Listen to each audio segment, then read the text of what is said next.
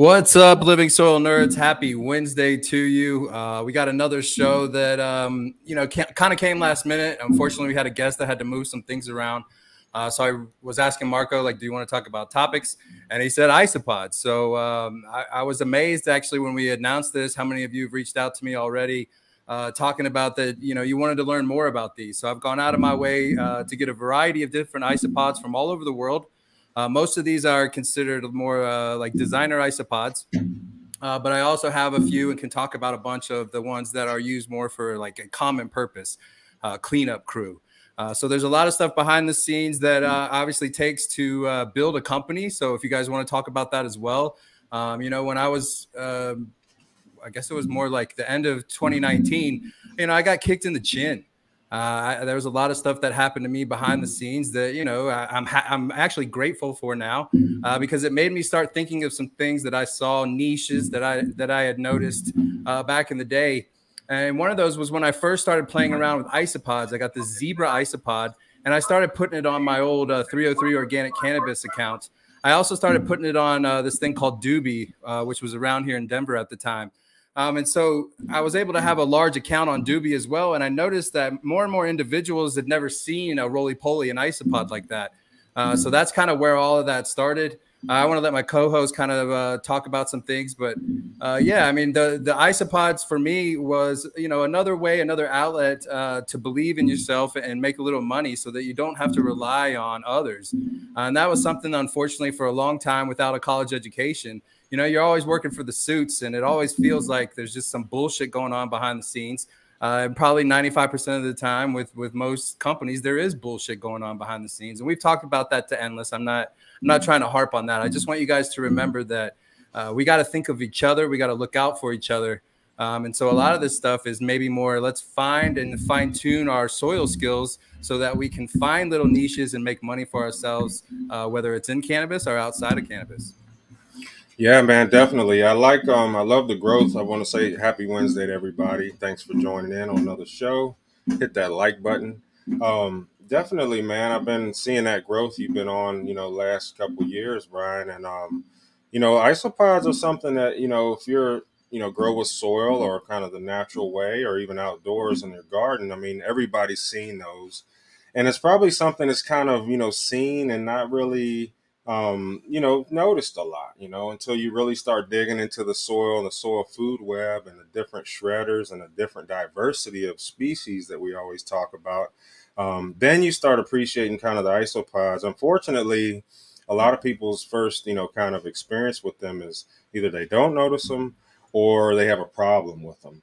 And I think a lot of people get it confused because I didn't even realize, you know, of course, we know there's a lot of different species, but until uh, dealing with you, man, I didn't realize some are special. Some eat more protein, some do more cleanup. You know, there's different ones and, and different types. So I'm looking forward to this show where you can kind of, um, you know, get into it a little bit and explain to folks, you know, I guess why don't you start out kind of just, you know, what's the purpose? You know, why, what, what, what different uses do we have for isopods? You know, kind of where do you see them being used, and you know, where do you um, think kind of the future of them is, and kind of go from there. Well, uh, I'll thank you, Marco. I, I, think a lot of this is coming from my experience and understanding more about the reptile world. You know, we've mentioned this a couple times. Um, it's it's you know they they say bioactive, we say living soil. So we're we're all kind of saying the same thing. Uh, but the beauty is is that that bioactive side of things in the reptile world that is just barely starting to take off. I, I mean, like you know, veterans in the reptile community don't really even understand soil systems. So to understand and uh, show them bioactive systems, you know, kind of show off different things where you're using a variety of the soil food web. Uh, you're, you know, when we go to these expos, I got these little demonstrations and stuff. We give talks. Uh, so more individuals are starting to see that instead of them having to smell the defecation from the, the reptile, there's ways to create a bioactive setup that is basically self-contained you know every now and then you might need to add a little bit of calcium and that kind of thing but for the most part isopods uh, feed you know strictly speaking of the bearded dragon um, I, that's almost all that i feed the uh, the dragon itself and if you ever have owned one of those reptiles you know that that's an expensive animal to own because they're constantly eating um, they usually eat like crickets so that was kind of the I guess the norm thought back in the day. Uh, the reality is, when you buy crickets, when you bring them home, probably you know 50% of them are still alive. When they die, they smell. Uh, so then the community moved on to these things called dubia roaches, which are a little more hardier. Uh, they're not all dying when you're buying them. The problem is that those also smell, and again, they're roaches. So not everybody's into that. So here comes. Is that those know, big? Is that those big roaches, Bryan, that you see? Yeah, man, they're probably about that big. They're considered okay. a feeder. So again, this is all kind of stuff that I saw. Uh, never really putting it together. I had mentioned it to a friend, and uh, to be honest, that person made fun of me. So I I guess I thought selling isopods at that time just wasn't, you know, maybe maybe I should never tell, you know, they say never tell people those kind of things because if somebody says that to you, then you, you're like, ah, yeah, that was a dumb idea. Uh, but luckily for me, I uh, kept thinking those things through, man. And like I said, with uh, with the zebra isopods, uh, Armadillium um, macu, what are those? Uh, maculatum. Think I'm saying that right, man. I, you know, I suck with the Latin stuff. Uh, but th- those are the ones that I first started with. And like I said, I noticed that individuals started to reach out to me. Where did you get those? Um, so I started to play around with them. I only had like maybe 15. Um, I had ordered them from a company in Germany. Uh, I think I had ordered like 50 of them, and you know most of them died. But uh, you know that's part of the risk, I guess. You know, so I got those. Uh, nothing really happened with that. A few a few years went by actually after I got those zebras.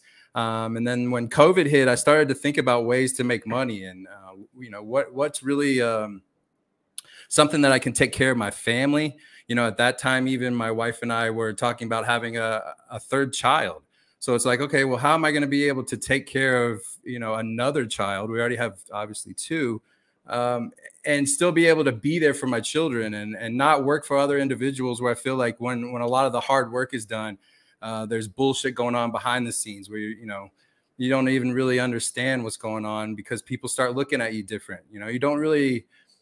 It's a weird feeling, man, when you're in there and you're, supposedly everybody's family, and people, you know, behind their back are, are not family. Uh, so that's you know everything that I was thinking about at the kitchen table when COVID was going gone, and so then again I started to think about isopods and how people were pretty into it, and so I really started to research some of that stuff uh, I reached out to my wife. We started talking about it, uh, and it was, I don't know. I, I, wouldn't say she laughed it off at first, but we definitely like didn't jump right into it. Um, and then I started to, to kind of talk about some things. I, I, discovered something called a rubber ducky, uh, which is a famous isopod. Um, that was it's basically the species known as Cubaris species. Uh, it's a brand new species, pretty much for an isopod world. It was discovered in 2018. So there's a lot of uh, there's a lot of newness to this. There's a lot of uh, people that don't understand how to get the Cubaris species uh, to produce uh, or, or, really at any high level of any reproduction rates that seem like anything works. There, you know, there's so many different uh, ideas. Kind of reminds me again of you know when you're first getting into living soil. You know, everybody kind of had their own idea. Some people said it didn't work. Some people said, yeah, do this. I've noticed again, granted they they um, live in the caves of Thailand, I still give them a, a, living soil system. That's the substrate that they're on. They love to burrow. Uh, they they go down like four to five inches on that. So a lot of the individuals when they first get rubber duckies, myself included, you think they're all dead until you re- you know you start scraping because you think you're going to change out the substrate and you realize that they're all down there mating. Uh, so there's a lot to learn with this kind of stuff. And um, my wife and I kind of just sat. I mean, I, I, think we've said this a lot, man. In 2020, if you didn't uh, better yourself, you know, it's kind of shame on you because it was a year of. Uh, I've always heard the term jubilee, where you get to kind of just sit around. There wasn't too much going on. Uh, so, what did you do with your time? And um, what I learned is uh, not not just myself, but a lot of people in the cannabis industry, people that even wanted to do seeds. I see a lot of people in cannabis doing more like logos and stuff. It seemed like those individuals stepped up and created a, a little business for themselves uh, and hats off to everybody that is a business owner. I mean, especially being an entrepreneur where everything's on you, uh, that could be scary at times. There's a lot of highs and lows with that, but uh, that's kind of the fun aspect of this. And when I was a young man working at the Ford plantation, where a lot of uh, very, very influential people have their like third or fourth home, um, those individuals were always talking about you need to enjoy the journey. And so that's something else that I'm constantly trying to remind myself that the highs and lows are part of it and uh, taking it to the next level is you know, uh, being proactive. And so I took over a year to start to breed these things out, Marco, before I really even mentioned any of this stuff uh, to anybody outside of my wife. Yeah, man, that's um. I'm just checking out the website. You do have a great site, man. You've been doing really well with that, and that's um. That's the rubber ducky right there that he was talking about. Look how wild that is. Like, just to see some of some some isopods like that in your living soil. I mean, that's awesome. That's an awesome compliment. It seems like to you know to cannabis, you know, or anything you may be growing, especially indoors. Now, just for instance, if I get these rubber duckies and I put them in my living soil, theoretically they should just live and reproduce, right? As long as we're keeping our temperatures, you know, we don't let it freeze out or something like that. Should just continue to propagate. Yeah, I would I would say since the uh, the price point and the reproduction rates of the rubber ducky, you know, a lot of we sell this to a lot of individuals, and they they refer to this as like the Louis Vuitton of isopod. Um, so when you first get into this, I would put it in a vivarium or terrarium so you can kind of keep track of things. You want them to be a little bit closer than normal when they first start out uh, so that they do reproduce. Um, and the, the, the, reason why they're, uh, you know, considered kind of pricey is because of all of the hard things that I had mentioned. You know, if it's hard to get them to reproduce, that's where the price points come in. Or if they're not uh, around often, you know, some of these species are being discovered like every few months, it seems like, especially the ones in Thailand, uh, the Cubaris. So there's um, potentially endless uh, isopods that keep popping up. And more and more individuals are seeing this more of like a Pokemon type thing. Uh, they collect a lot of these, and uh, that's where I'm trying to fill that niche. You know, our goal is to have over 100 different species here uh, by the end of the summer.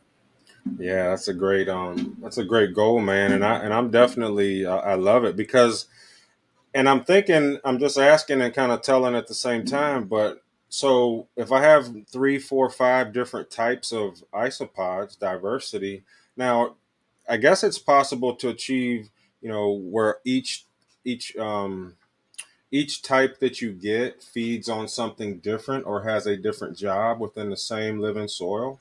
Is that possible?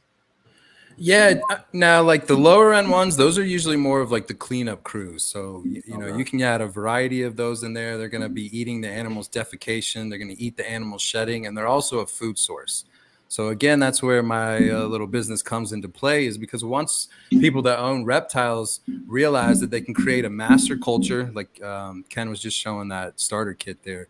Um, they can create that master culture, let those things uh, take up to where there's hundreds in just a few weeks and now from that main master culture, they can feed a variety of different reptiles without ever having to spend money on that again. That's how prolific these isopods are. Now, those are called the dairy cows. Now, uh, you know, a, a, rubber ducky, some of those, especially when they're juveniles, can take a year, year and a half before they're even adults ready to breed. Um, so, again, it's really understanding what isopods you're working with. And there's so many isopods from all over the world that, um, and, and not enough information to be honest. So that's what we hope to be able to continue uh, educating on. And we're learning as we go. I mean, there's hardly any books on there. I mean, there's just a couple. Um, and then there's really hardly any information out there, Marco. I mean, there's, mm-hmm. or maybe I should say, there's not as good information. Like a lot of them are saying use dry, uh, basically dead substrate. Um, and some of those individuals uh, have even been my competition that now are using my soil uh, so that their isopods don't don't die uh, from show to show. Um, and you know, I guess in hindsight, I think that's that they're using a, a dry substrate, a mm. dead substrate. There's no microbial life in there, um, and I think the isopods enjoy the microbial life just as much as plants. Um, and then when you're adding, um, you know, extra things to feed them, that's when you're really getting the colors to pop. Uh, you're adding the chitin to really make sure that this the uh, exoskeleton is a little bit larger than your than your competition as well. And all of that again is just coming down to the soil food web, man. We're just using basic things that we use to feed plants uh, and feeding them to the decomposers.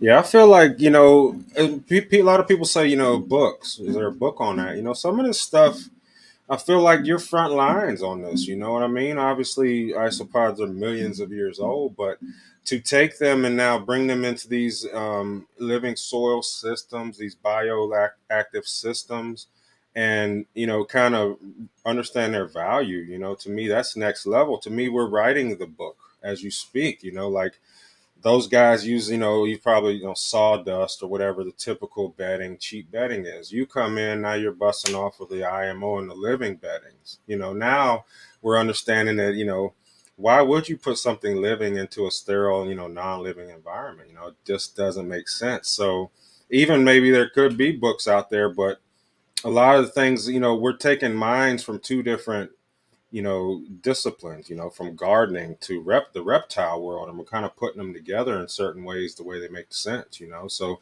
some of these things aren't something where you can say hey man where did you read that? Well you know I'm, i didn't read that. I'm trying this and it works and i'm explaining it to you and telling you what i did you know? So a lot of it is having to do with open mind man and um and i think that's where you know you've been kind of stepping it up taking it to the next next level and i think that is um it's very flattering, right? That now all of a sudden everybody's really understanding the livings part of it. They're trying to, you know, also get on board with that. So, um, you know, teaching by doing, guys. You know, a man is doing it a certain way, and it seems to be working. Now that's that, he's when he's doing that, he's teaching. You know, he's showing you what he's doing. So, um, I, you know, I like that, man. I think it's great. I think you got a good solid business. I didn't realize the reptile world was so huge, man. Like it's just yeah. What up, Chad? The reptile world is so big, you know, and and there's so much um, room for growth. And I think for me, animal health is where you will excel, and and people that are focused on that living aspect. You know, your vivarium, your terrarium will be much more healthy. Your animal will be much more healthy. Shit, man, you got a gecko or a Parsons chameleon or a panther or whatever type of chameleon five, ten G's, man. I mean, you wouldn't you wouldn't treat an expensive car, you know, badly or or not wash it or not maintain it. So same way as you got an expensive animal or something that you've got invested a lot of time into, it's worth going that extra bit for that living aspect, I think. Yeah, and you know, it there's a variety of things, uh, you know, especially when it comes to the chameleons, you know, when they're defecating all the time, you would have to pay your employees to clean that up, especially the, the bearded dragons as well. If you have a store, uh, those when those things defecate is uh, noticeable. Um, so, you know, if, if they miss the little green carpet that you put out, now you got to clean the whole bottom thing. And that was, it seems like that was the norm for decades. Uh, so now when people are seeing that, um, you can use mother nature to break down mother nature the same kind of stuff. That's the, i mean these are really uh, like parallel parallel universes here marco. Mm-hmm. uh, it's just the fact that it seems like we know so much more being cannabis farmers than anybody in the reptile game. And so that's why i wanted again you know we talked about it you know a couple times on other shows. I want to kind of give you guys that. I mean i'm not saying you guys isopods might not be your thing or uh, you know might not be it might be pretty hard to catch up to me.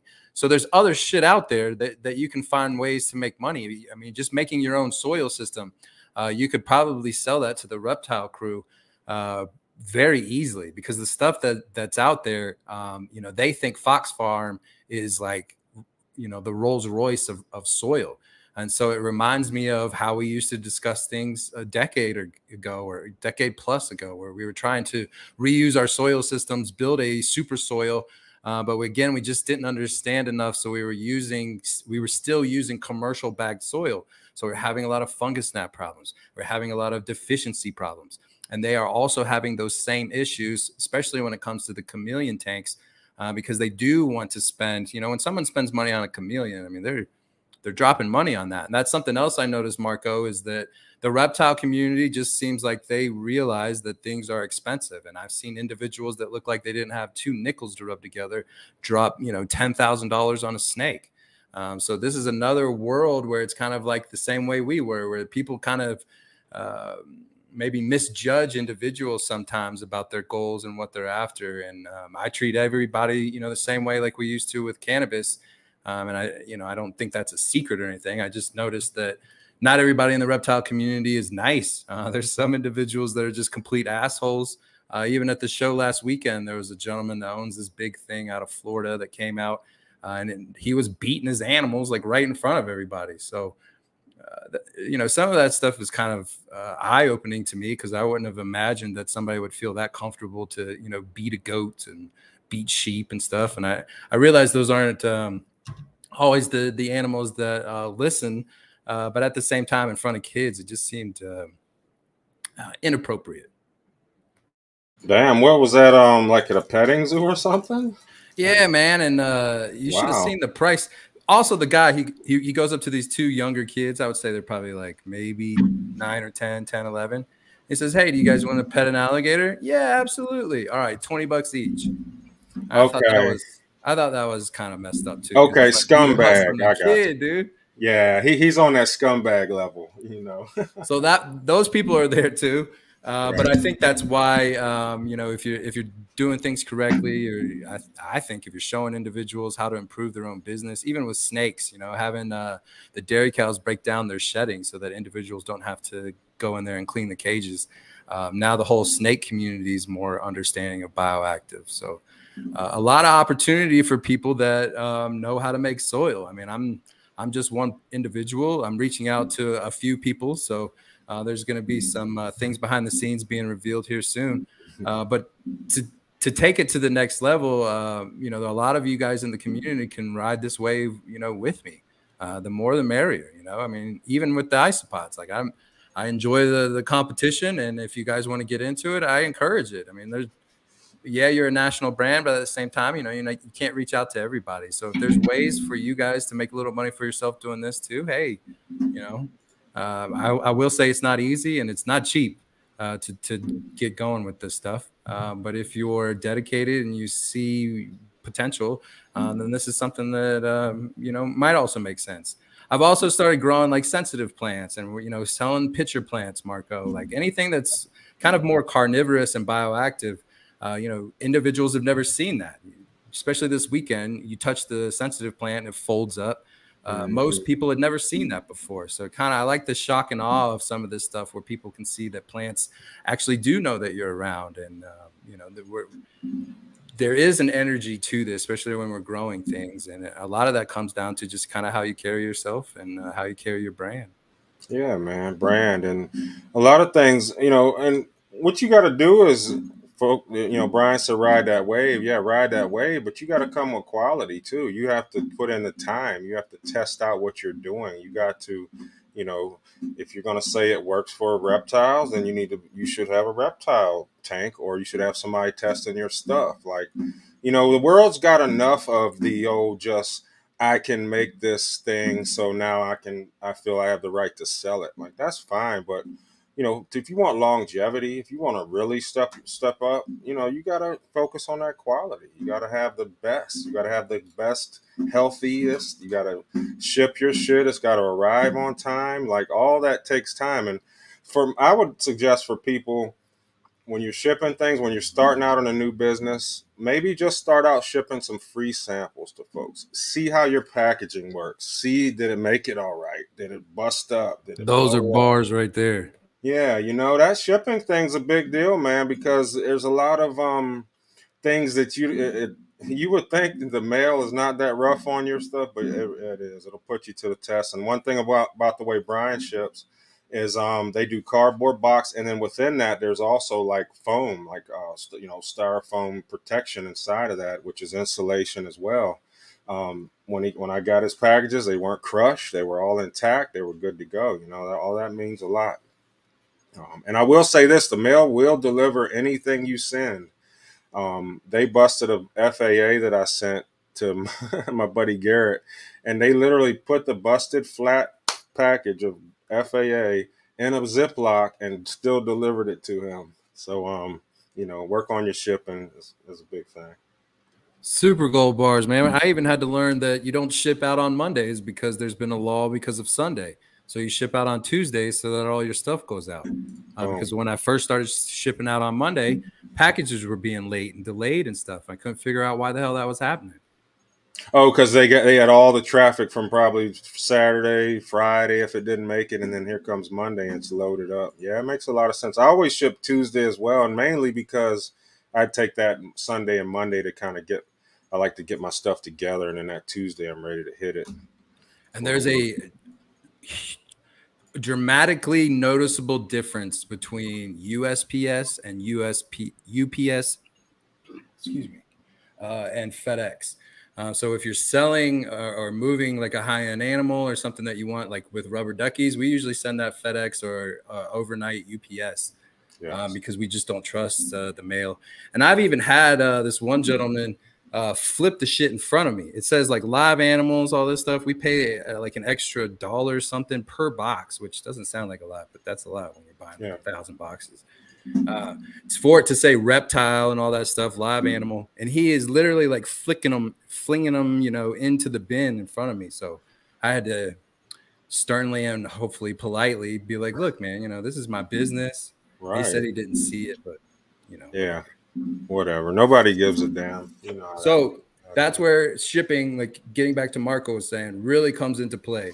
And if you could uh, ship some samples or something, you could figure out the time it takes to get places, and um, it will never be the same. You can ship the same package every Tuesday to the same person, and more than likely, it would never like kind of, you know, maybe a day sooner or a day later. So you kind of have to learn that kind of stuff too.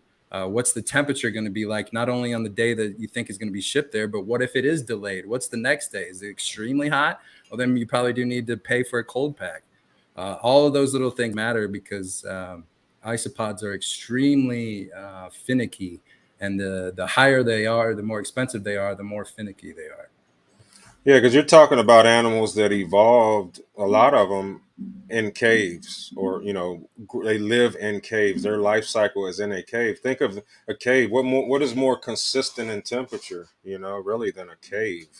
So yeah, that makes a lot of sense. Some of these things, I imagine, if the temperature fluctuated more than a couple degrees, maybe in one direction or another, um, could get pretty temperamental.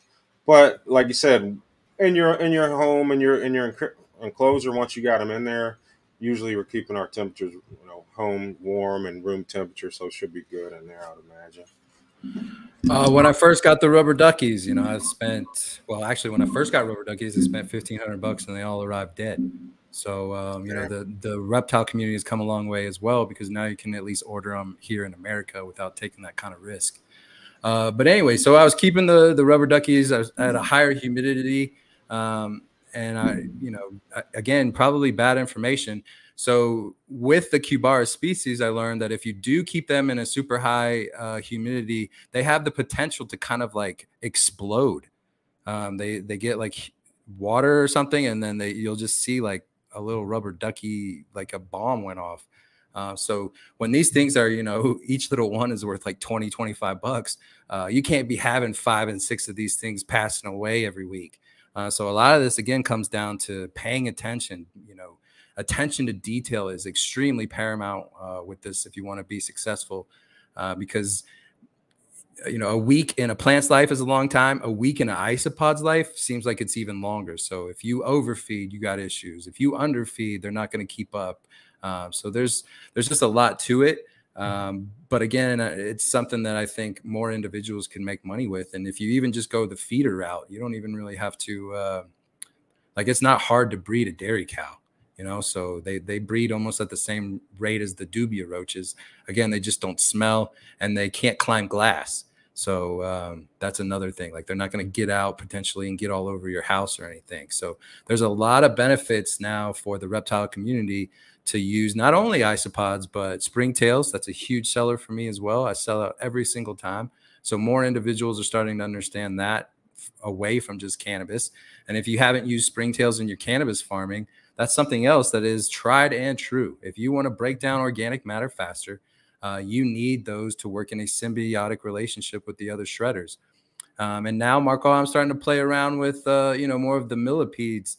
I had always kind of thought that, you know, maybe some bad information and some things, but it seemed like the centipede, you know, you didn't want to mess with that because I don't want to get bit and go to the hospital. And then the millipede, I just didn't understand the the same rate, I guess, back then uh, that the millipedes breaking down uh, almost at the same level. Some of those species, or some of them are even faster.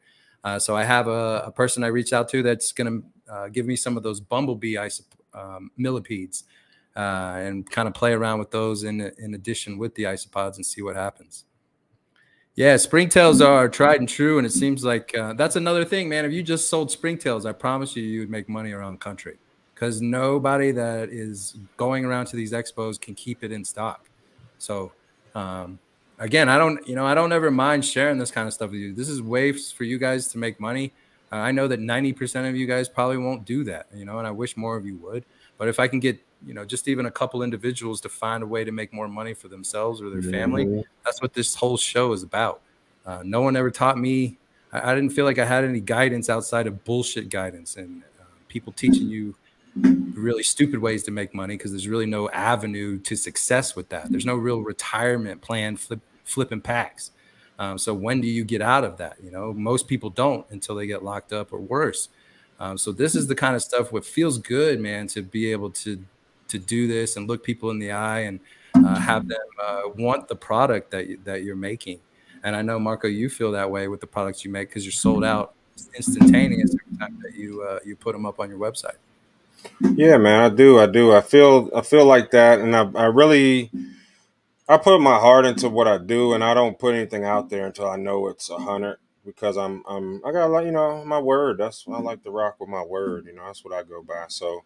Um, yeah, man, it's difficult. You know, it's like uh, you you as one person. You know, when you when your stuff becomes you know popular and it's good and people know it, it go it sells out so quick. And sometimes I feel like, man, I can't even touch enough people with it. So right now I'm working on some things behind the scene where I'm going to be ramping up, um, you know, as far as production and being able to uh, keep things in stock because, um, you know, I know I know a lot of people look for that and, and don't have necessarily the time to make some of these inputs, even though I wish you would. Um, takes some time, takes a little bit of different skills and techniques, but you can learn it um, a lot of these things, man, like I said, just focus on the quality. Make the best you can make, be the best you can be, have your product the best. And then like that the money part, that stuff that that comes. Like after you get that part, then then the, then you know the making the money comes. But if you just go out at it, everybody's got a calculator, you can do math. If you just start doing math and then trying to build a business around math, it's not going to be that sustainable. You know, to me, you got to build it around that brand. And Bryan mentioned branding earlier. You know, letting your brand be synonymous. Like when I your logo very very distinct. You know, everybody when they see that they know, boom, that's Rubber Ducky. You don't even really need to be able to read the words. You know, things like that. That's good branding and that, that's good um you know, brand recognition. That's our boy Bobby right there. Yeah, you know, yeah taking the time to put money into, uh, you know, a fifty dollar logo is just that, a fifty dollar logo. So yeah, you're really building a brand for yourself. Then, um, you know, there, there's artists that make logos from scratch, and then there's artists that make logos from a template. And a fifty dollar oh. logo, I promise you, is from a template. So you're going to see the same thing somewhere someday. Yeah, Bobby. Bobby will take that thing and he'll take it like he made one just from the mm-hmm. words I told him. You know, I gave him mm-hmm. words to draw. Get me? So he can take words and make them into a picture. That's a good artist. And there's a lot of logo makers out there. Damn, I feel like there's more logo makers than damn growers these days. Like you get so many every day. Do you want a logo? No, I do not. I'm good. You know? I get hit up for that all the time. Or you need help with your website? I'm like, no, man, I'm, I'm good. Yeah, I'm good to go. So here's the thing. You you can make your own website. You have to take a class, you have to teach yourself. But I promise you, once you understand a few of the back end stuff, uh, you can do that for yourself. Uh, and the value of that is a couple thousand dollars. Like an e-commerce website should be like twenty five hundred to probably you know ten thousand dollars or more, depending on how complex it is. Uh, but e-commerce sites is a, a, a, fantastic way for you to find uh, a passive income. You know, you know, truth be told, when I do this show, sometimes I mean I'm I'm impressed uh, with the sales in those three hours. And again, once that all is set up for you, you know you can continue. You can go out there and promote. Uh, this isn't like the uh, quiet hustle days. Now we get to go out and go to the expos and let people know all about us.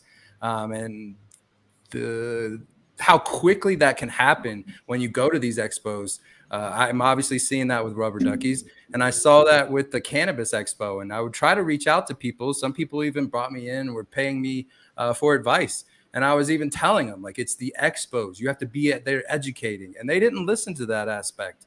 Um, so when people are asking me like okay well how are you able to do this so successfully again it's we're using the same blueprint here we understand soil systems hopefully better than most we're going out and doing expos more than uh, more than the competition.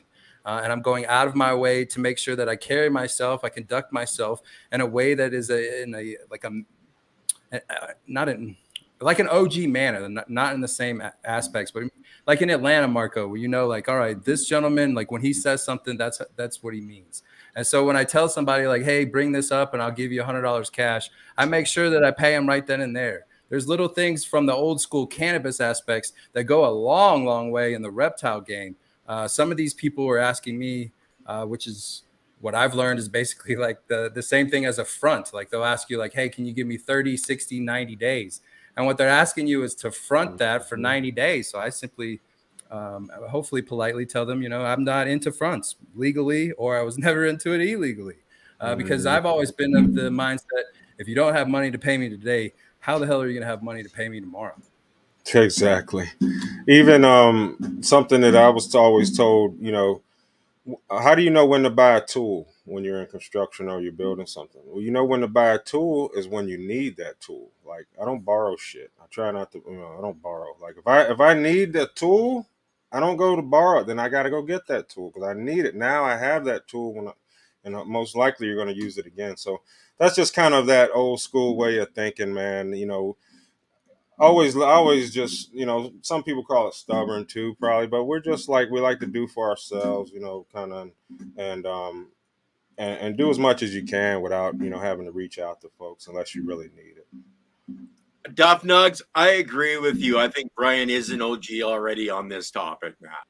Oh yeah, I appreciate that, and uh, I like it, Marco, that I'm I'm earning the gray just like you are, buddy. You know? I see you got some grays coming in down there. I was just looking at Proud that. Yeah. yeah. I like it, man. So for Buddy, this community, a long way to go, oh, yeah. man. See, that's called a wisdom beard. You know, yeah. we're not there yet. Not quite. Sure. Uh, so, so again, for you guys, if you understand how to build soil systems, or even if you're doing um, like composting worms, that's another thing that I think is could be a potential niche for a lot of you guys out there. Uncle Jim is out there; everybody knows about him. Uh, a lot of individuals buy from him. Uh, how do I say it? But most of us know the quality of, of the stuff that's coming from there compared to like Jet House Gardens or other individuals that are doing that. Uh, so there's another opportunity there. You see individuals that are going out of their way uh, to create such diverse vermicompost uh, that myself included that I, I purchased some from them know, I mean, there's just you want that diversity. There's people out there that obviously can make their own cake, still wanting to buy other people's cakes uh, because yeah. it's that good. And that's the way this community should be. You know, there's enough money out there. I personally believe for for everybody that's willing to go out there and get it. Um, and a lot of people think that you just sit in your house and wish for things and it comes true. Um, and that's not at all what even those books, you know, some of those books, the Think and Grow Riches and The Secret and all that, they're all saying the same thing. It's that that vibration, I think, is really what you're trying to achieve. And you're going to achieve that by going out and doing things and, and, and uh, going to the expos and kind of that stuff. And then it's amazing who you run into, Marco, where it's mm. like, oh man, I had no idea, idea this person existed. Um, and now, you know, this individual wants to talk to me about doing stuff. And then you find out that that person's a huge player in the game. It's like, well, how did that, you know, how did that link up like that? And that's the weird part the the woo woo and all that that um, I used to dismiss wholeheartedly, especially when I lived in Georgia all those years ago. I used to think all that metaphysical stuff was complete bullshit. I even had a girlfriend that was so into it. Her parents were into it. Uh, they made a lamp spin one time in a in a house. I don't know if that was fuckery or if it was real, but I mean they they made the lamp spin in front of me. Um, so there was a lot. They also showed me pictures the first time I've ever seen where uh, this uh, her grandmother had these white, like super bright white stuff coming out of her head. Every time you took a picture of her, it was wild. Oh, okay, okay. She had that energy. She had that vibe. Yeah, but I always, yeah, I just never really thought that was real. And then moving out to Colorado and maybe seeing that more people embrace that kind of stuff out here than in the South, um, then I started to see things for myself and a few things that uh, kind of scared me, to be honest. You know, um, so there's a lot of ways that you can uh, poke the bear uh, in the metaphysical world. Uh, we talked about that on uh, last last show, Marco, about some more of the like uh, occult kind of stuff, and uh, people were really responsive to that. So I'm glad for that as well. I, I want people to understand cannabis and soil and all that, but let's also kind of discuss like where you know where we came from and some of that wisdom that's there, because I think that would also help us in our personal lives be better people which relates to being a better farmer, being a better entrepreneur, being a better family man, husband, wife, whatever it is. Uh, because that's the vibration that's going to bring you the money that you're you're fucking after. And I, I, I know everybody thinks about that shit all day long on a loop. Like it's tough. Um, so we got to go out of our way to find ways to raise that vibration. Um, you know, when somebody, when I was telling somebody I was dirt poor in uh, Savannah, uh, I was telling them I was in debt and all this shit. The guy started telling me, well, "Give away everything you have," and that sounded like complete bullshit to me again, man. I got nothing. You want me to give it away, and here you have, you know, this is probably your third home. You're sitting over here drinking uh, Woodford Reserve at thirty dollars a glass because nobody. Uh, nobody bat an eye at that place, man. You know, that's the kind of wealth that these individuals had, but most of them were unhappy. And that is something that I was really happy to see is that uh, it seemed like the entrepreneur aspects, those people, uh, you know, they had their family life, they had their business. They seemed like they just really were a little bit different than the ones that were handed their money. Those individuals seemed like life was never good enough the newest bag didn't suffice. You know, you had they had to go out and get the newest car. The, you know, I remember that's when the G wagon came out. Everybody in that neighborhood had to get that, but it was really hard for you know that many people to get the G wagon. They pretty scarce. So it was little things like that that I noticed. Like if they weren't able to get that, then the whole week was ruined. You know. Right. So I, I'm I'm gracious that uh, I grew up the way that I did, man. That we grew up. I don't know about you, Marco, but I would say I grew up uh, pretty poor um, and that taught yeah, me we, a lot. Yeah, man. We um, you know, my dad's from a small town in Georgia, Lakeland, Georgia. So it's like poor, poor. It's poor. So um, yeah, but my dad made a decision, young man. He went on to the army. You know what I mean? And he, and he and he got on out of there and, and made a you know made what he thought was a good move to better his life. You know what I mean? There's nothing in those little, some of those little towns. There's no industry. There's no where to work other than little grocery stores or family. You know, there's nothing there. You know, so he had to make that decision and leave there. And I tell young people all that uh, all the time, man. Like anybody, like leave, like go, go follow a dream, go do something. And even if you leave for two, three years and come back, you'll see didn't much change when you came back. You didn't miss shit. You know what I mean? Mm-hmm. So I've always been like that. We, my wife, thankfully, not thankfully, but we've never had kids. So thankfully, my wife has always been able to travel mm-hmm. with me to go where any kind of business venture, anything I wanted to do. Mm-hmm. Um, we would always take a risk, you know, and uh, not everybody can do that. But when you're young, you know, take those risks, give it a shot. You know what I mean? The shit back home is going to be there when you get back. You know, you're not missing anything. Um, so yeah, man, I, I, you, you're dropping some good knowledge, man, and I'm glad you mm-hmm. realize that, like karma, you know, and and some people never realize it. You know what I mean? Karma is a real thing. Treating people nice is a real thing, and also, man, doing things whatever whatever you do in the darkness will come to light. So, you know, if you in the light you try to be this nice guy and doing all that, but you're really an asshole deep down, like all those things are going to eventually come out. So you have to really work on inside and you're you know being a good person like you know having positive thoughts like when always thinking to the positive first. You know, wake up positive. You know, some people wake up on some shitty stuff. Like, don't wake up shitty. Wake up positive. Wake up thinking, damn, oh, woke up nice. This is beautiful. Sun's about to rise. You know, take all that stuff in a little bit by a little bit. And somebody, I just saw something the other day. Don't say, oh, I gotta get up and go to work. I gotta go do this. I got say you get to do that. I, I'm blessed. My mm-hmm. legs work, my arms work. I get to go make money for my family today. May not be the job or the thing I want to do, but you got all day to work your mind. If you're at a mindless job, then your mind all day should be thinking about, all right, how am I going to get out of that? What's what's my next move going to be? I'm getting this mm-hmm. money from them now.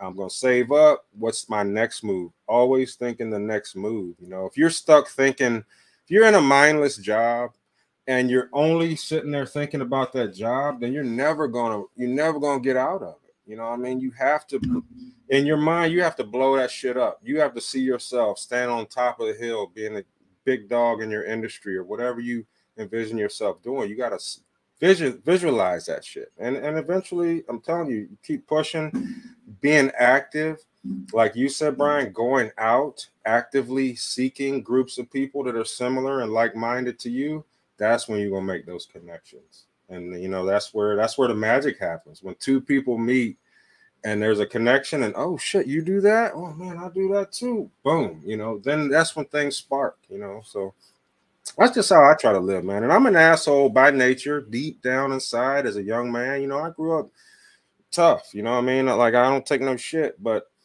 i consciously try to be nice you know? Try to let when people hit my dms try to be nice try to be patient work on it. I'm not always perfect but I think if you're actively trying to do the right things, you know, eventually you're going to keep doing the right things a little more, a little more, and life just kind of catches up with you, and and that whole life just moves in that wave of of a good direction for you, you know. So just ranting a little bit, but that's kind of how I look at it, man, I, and that's kind of you know advice I would give give folks, you know, coming up.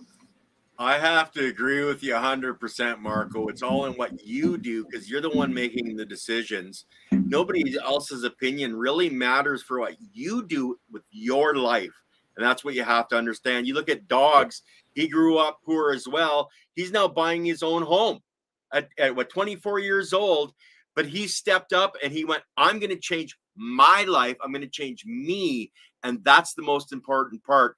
Don't worry about anybody else make it your mission to be a better human being. Well said. And when you're that young and you're able to purchase a home and you're thinking about investing and stuff, I, have heard this from many individuals. So, dogs, so, you know, take this if what they've always said is you should focus on paying off your house. That is the quickest way for you to become a millionaire is to purchase a house in your early 20s, work your ass off to pay that down, and then once that is paid off, now you don't have that anymore, yet you have equity going up. At most people your age, myself included, I bought the fancy Lexus car. So I spent a lot of money. And then as the years went on, that shit depreciated like crazy. So I invested money into something uh, that lost value. So you're on a whole nother level, man, when you turn 30 years old. Uh, so shout out to you, brother, for uh, finding a way to do that that's the kind of stuff that I, I would love to see from the community. It's like we all made fucked up choices. We've made mistakes. Uh, some of us got caught uh, and have been, you know, behind the scenes for a lot of bullshit. Uh, so they want they they know. You know, I've been to jail several times. Luckily, never been to prison. Um, and sometimes jail could be worse, man. You know, especially if they know you're only in there for a little bit. So when Marco was talking about, you kind of have to like carry yourself a certain way. I think that's more of a southern thing uh, where people just try you and test you just walking down the street. You be just walking down the street wanting to get a little ice cream for yourself, something just completely nonchalant, and some bullshit could go down. So that's why a lot of individuals carry themselves ready to go all the time. And that is exhausting uh, when you have to live your life like that. When you go outside and you're afraid, and most people won't admit that, but when you walk out into certain aspects, even in Atlanta, uh, I was a. You're afraid. You're afraid when you're walking down that street. You don't have enough money for a car, uh, or you're the homies, you know, not able to get you. So sometimes you got to walk. Um, and walking down um, certain streets in Atlanta is uh, fucking scary, man. So to get past all that, man, and be 24 years old and to have a house, that's what I'm talking about, brother. Fuck the streets. Find ways to to buy your own house, pay that shit down, and you will be well on your way to being self sufficient. Boom. All right. great, great advice there. That's the, um, you know, because that's how this, that's how our shit's set up over here. Like property, and the houses, and all that. That's kind of that's kind of the door to go to taking that next step. You know, properties. You know, it's tough to just obviously buying a, every new car you see ain't gonna be the way to do it, and you know, people realize that. Everybody's done that. But you know like the way it's really set up is it separates you and that's why it's kind of it's difficult to buy a house. Like they run you through the fucking paperwork. You got to go through all this shit and all these taxes and i mean all the reports all the old tax filings and uh, xyz and then you finally can get a house and that's a great you know feeling but you know that's the key because that's the one thing you know they're not making any more land eh, you know number one and the housing and land does nothing but goes up. You know, it goes up in value. So one thing that, that um I was always able to do is we traveled all around the country, but I always, you know, still to this day where I'm sitting right now, I kept my first house. Like I, I always was able to keep it, whether if I was living in Indy or wherever I was, I'd have somebody house sitting it or something because I always knew that it was it was critical to always keep that um, that first house. And luckily for me, I was able to get that when I was still in my 20s um, and you know, 48 now. But like you said, man, like my dad grew up super poor. Um, went to the military, met my mom in Germany. You know, had me. I was an only child for seven years, and back then, man, the military didn't pay shit. Like I remember, like my dad was in the military, and we were living in a trailer in Georgia. Um, my mom will tell stories, you know, like for Christmas, I got one teddy bear, one stuffed animal, shit like that. And I was very, but we were very happy. You know what I mean? It wasn't like we weren't sitting around moping and because we were always worked. My parents always work. Like me, I don't like, I don't, I, my mindset's a little different. You know, I grind, I bust my ass, I, I kick ass, but I don't like to do like, call it well, I got two jobs. Like, you know, I, I, look at it as streams of income. You know what I mean? Like I have various different streams of income. I don't like to use the word, you know, boss. I don't have no boss over me. You know what I mean?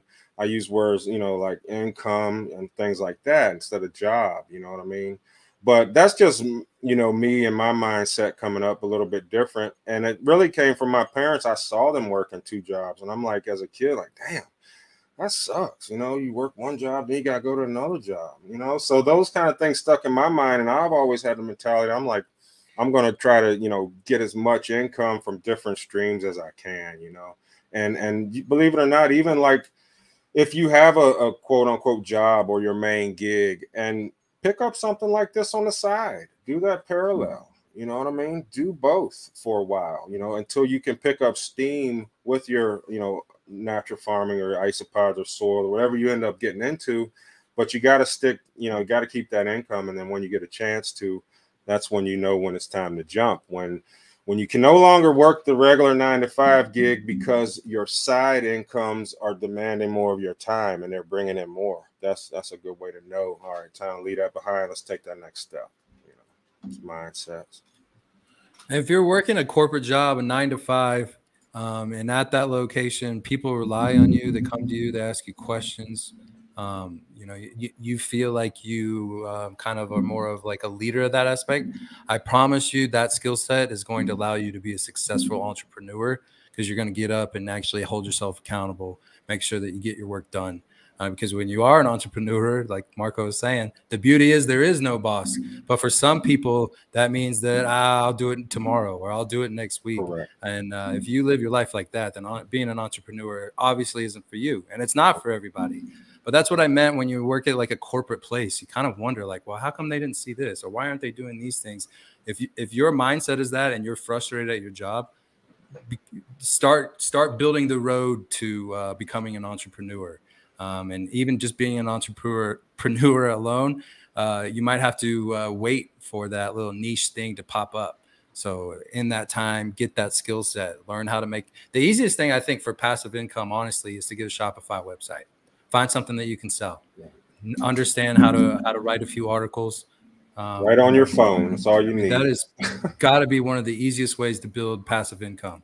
Um, and so you have to have some skill set, I promise. And uh, Shopify makes it pretty easy. Again, after a, a video course or two, um, to set it up to where you're now making a, a pretty good living for yourself. Uh, and then if you're doing that on top of uh, your normal job, like Marco was saying, eventually um, that might take months, that might take years. It really depends on what. There's too many variables for that. Uh, but to know that things are improving week by week, month by month, the same way with our soil system, the same thing with your finances and, and just your overall joy for life is improved week by week, month by month. And then when you start to really not have debt anymore and you don't, I hope my wife doesn't mind me sharing this, but we just paid 13 months uh, of rent to our, our landlord. So I don't have to worry about that for a year and one month.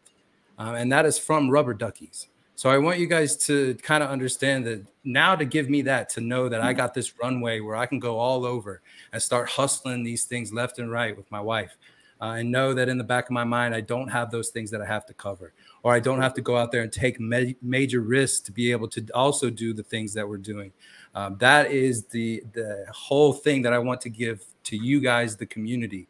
I want you guys to find your own way so that you have enough uh, disposable income or income that you want to you know move certain ways to where the life itself is a little bit better and i think doing things like that is what allows that vibration to go up and if you believe that karma is what brings money, Uh, that's what I learned at like 37 years old.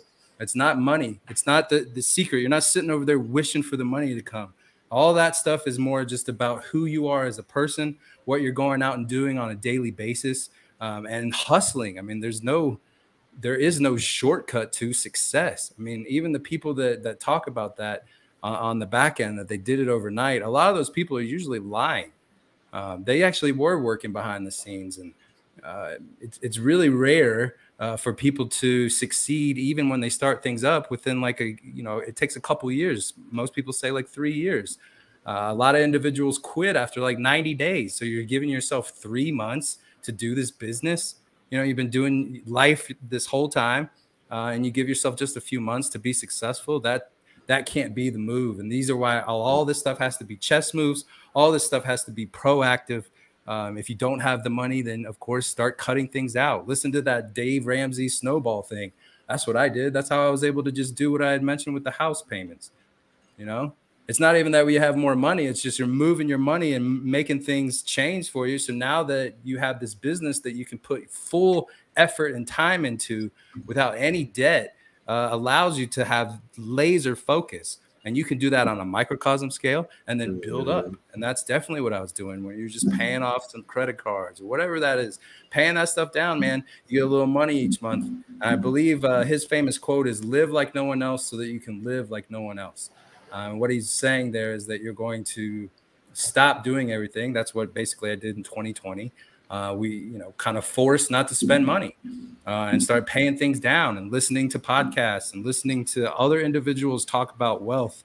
Uh, and then i started to see that um, most individuals that are self-made uh, it, t- it takes you know till they're probably like 55 between 55 and 65 it seems like where that's really done uh, well uh, for somebody that didn't hit the lottery with their business kind of thing, like a Bill Gates or Elon Musk or something that just went crazy with it. Most individuals that are self uh, made, they actually start to see that success. Uh, some of them, you know, like in their 40s, but most, like I said, between like the 50s and the 60 to 65, and that's that sweet spot. So if you are older, you are, you know, in your later 30s, and you think life has passed you by, um, I, I encourage you to listen to people that have real wealth and knowledge uh, because they're saying the exact opposite. They're saying that they actually put their shit together when they were older in life. Um, so again, there's you know there's a lot to learn there, and I think listening to a variety of different podcasts on just health and wealth will allow you to become a, a better and more efficient entrepreneur.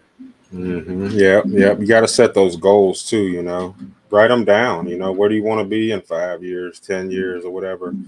You know, it's crazy, man. Like, I'm, you know, I'm not old, old. Mm-hmm. I'm just 48. But you know, as you get older, man, you you still you look back. You're like, damn, I remember when I just bought this house. You know, now it's 20 some years later. Like, life just keeps on going. You know, it just keeps on going and you look you looking like you go through hard times i went through hard times went through good times but then you eventually look and you start saying well damn it's all just good times now you know things are going fine. Obviously you got to deal with life incidents you know lose people things happen. I'm, I'm oh, i get that but financially and and on that level man it, it, and business wise when you start seeing things that you hoped you would see in 20 years you know it, it's pretty cool man. It's, it's almost like you know i got trees i planted when they were just a, a bare root you know and now they're huge you know good sized trees you know. It's like eventually you're like wow I, I got pecans you know i planted a pecan tree when it was just like this and now you know i'm actually eating pecans and and it just kind of gradually happens you know so that's why I, my advice to folks is just when I, stick with something, and that's what I did. When when you get in an industry and you like that industry, stick into it, stick with it, keep grinding, keep working your way up, and don't feel stagnant. Because if you got someone that you report to or someone that's above you, you can always make that your next goal. You know, that's your next goal to move up. I want that guy's position, mm-hmm. or I want to be doing what he's doing, or maybe I'll get goes to another company and then do that guy's position Another thing I've always done when you if you ever switch companies or if you ever change, you know, company you work for, take a step up. You know, that's your opportunity to step up. Don't just step laterally and try to do the exact same thing. When you move that new company, you know, you know what you're doing if you've been in that industry long enough. Now try to step up, apply for that next higher up position. And you know, and, and eventually you'll just keep working your way up into an industry and then you'll get to a, a place that you get, you know, really comfortable. Um, keys though, doing stuff you like to do, you know, it's tough to have a, a good life if you're not doing something you like to do. You know, if you really hate what you're doing, that sucks. Um, so just focus on, you know, things you like and another good bit of advice somebody gave me that had a lot of money. They said, do good and then you will do well. Like focus on doing good. Like if you're selling isopods, only focus on the quality of that. Only focus on giving that good customer service. Only focus on that. The money's gonna come. you know, you don't have to look for the money when you do that. So that's kind of my point, you know. Um, quality, doing it right, integrity, and then you know everything else will come. But so we've been preaching a lot on the financials which is cool. You know we like to talk about life and stuff. But i know you do also have some isopods to share with us brian. Did you um want to get back to that? And one my, my buddy um shout out to aaron leviathan seeds. Um first question is there an isopod that's just better for an indoor living cannabis system than another? And i'm sorry you already had a question kim but i was on my thought um, so if you're wanting to do with an indoor, um, you want to focus on something that's a little more protein uh, based. Uh, the basic grays that everybody uses, you know, those are known to eat live plants. Um, and that's just kind of how that species is. That doesn't mean that all isopods do that. Uh, for the most part, isopods don't want to eat anything living. Uh, they're decomposers. They're breaking down dead things. They want to eat dead, decaying wood. Um, so again, it's going to come down more to your personal choice, I guess, with some of that stuff. There's so many isopods um, that I, I, can like kind of guide you as there's these things called Oreo crumbles. Uh, they are fantastic that work with uh, the springtails. Uh, they do multiply uh, decently quick so that things can continue, especially if you're using like a raised bed indoors. Uh, but they also won't uh, eat your um, plants.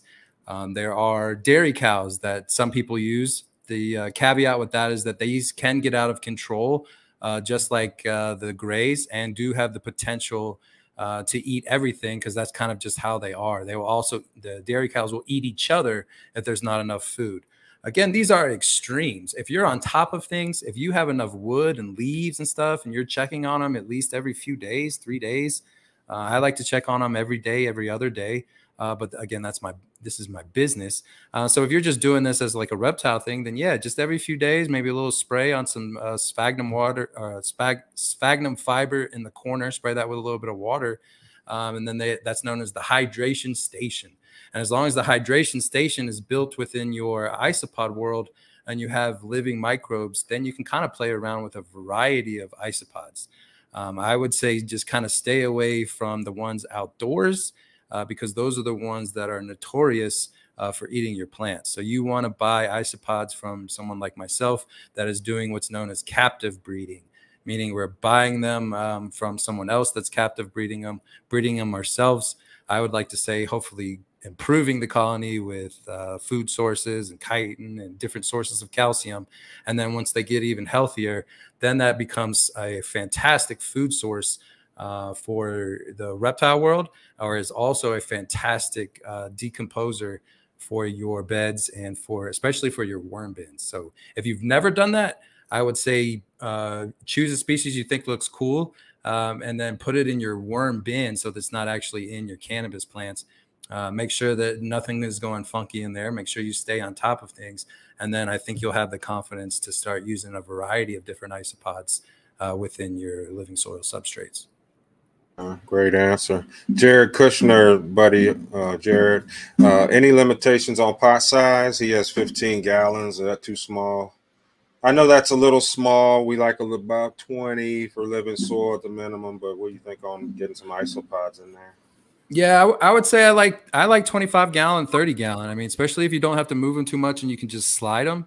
Uh, again, remember the the the bigger the roots, the the bigger the fruits, the bigger the stomach you know the overall health of the that system seems to improve uh, especially if you're thinking long term jared and I, I see you all over instagram buddy i know that you watch this show religiously Uh, so I would say to you, sir, thinking long term, thinking bioactive, I would invest in some quality fabric pots, build up to a 15 or I'm sorry, a 25 to 30 gallon, move away from the 15 gallon.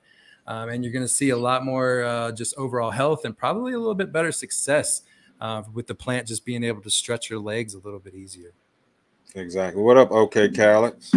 Um, yeah, definitely, man. Like the trust me, the bigger the soil, the easier, the more ease on the farmer, man. The more you can leave, go out of town, forget things. You know, things kind of balance themselves out. The soil buffers the input you put in a lot more.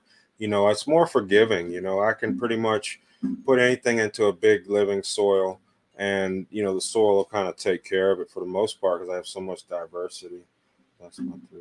Yeah, Jared, you just did a um nice um I saw you did a nice Hugo outdoor too. So yeah, Jared's on top of it. But yeah, like he said, I, we go 20, probably 25 on up with the pot size. And uh, for for individuals that are newer to fabric pots, that's where you want to spend your money. Uh, you don't want to go cheap on that, and then a year from now, you're sliding a fabric pot across the basement floor, and it rips a hole in the middle, uh, because then you basically got to start all over with you're going to have to move all that soil it's you're going to disturb it uh, so that extra five bucks or whatever it is per bag is well worth it when it's triple stitched or you know what, however they're marketing it. Just double checked. In my opinion, make sure it was made from in America and then it's triple stitched, and that will be quality. And who would you recommend, Brian? Uh, well, there's a variety of people. Uh, green, uh, the the fabric pot. What, what are they called? I always get the hat company and their company mixed up. Uh, we talking grassroots. Grassroots fabric pots. There we go. Uh, I know that I've used them. Uh, I've reached out to uh, Tyler in the past, and he's a fantastic individual. Uh, so those are something that you guys can uh, check out.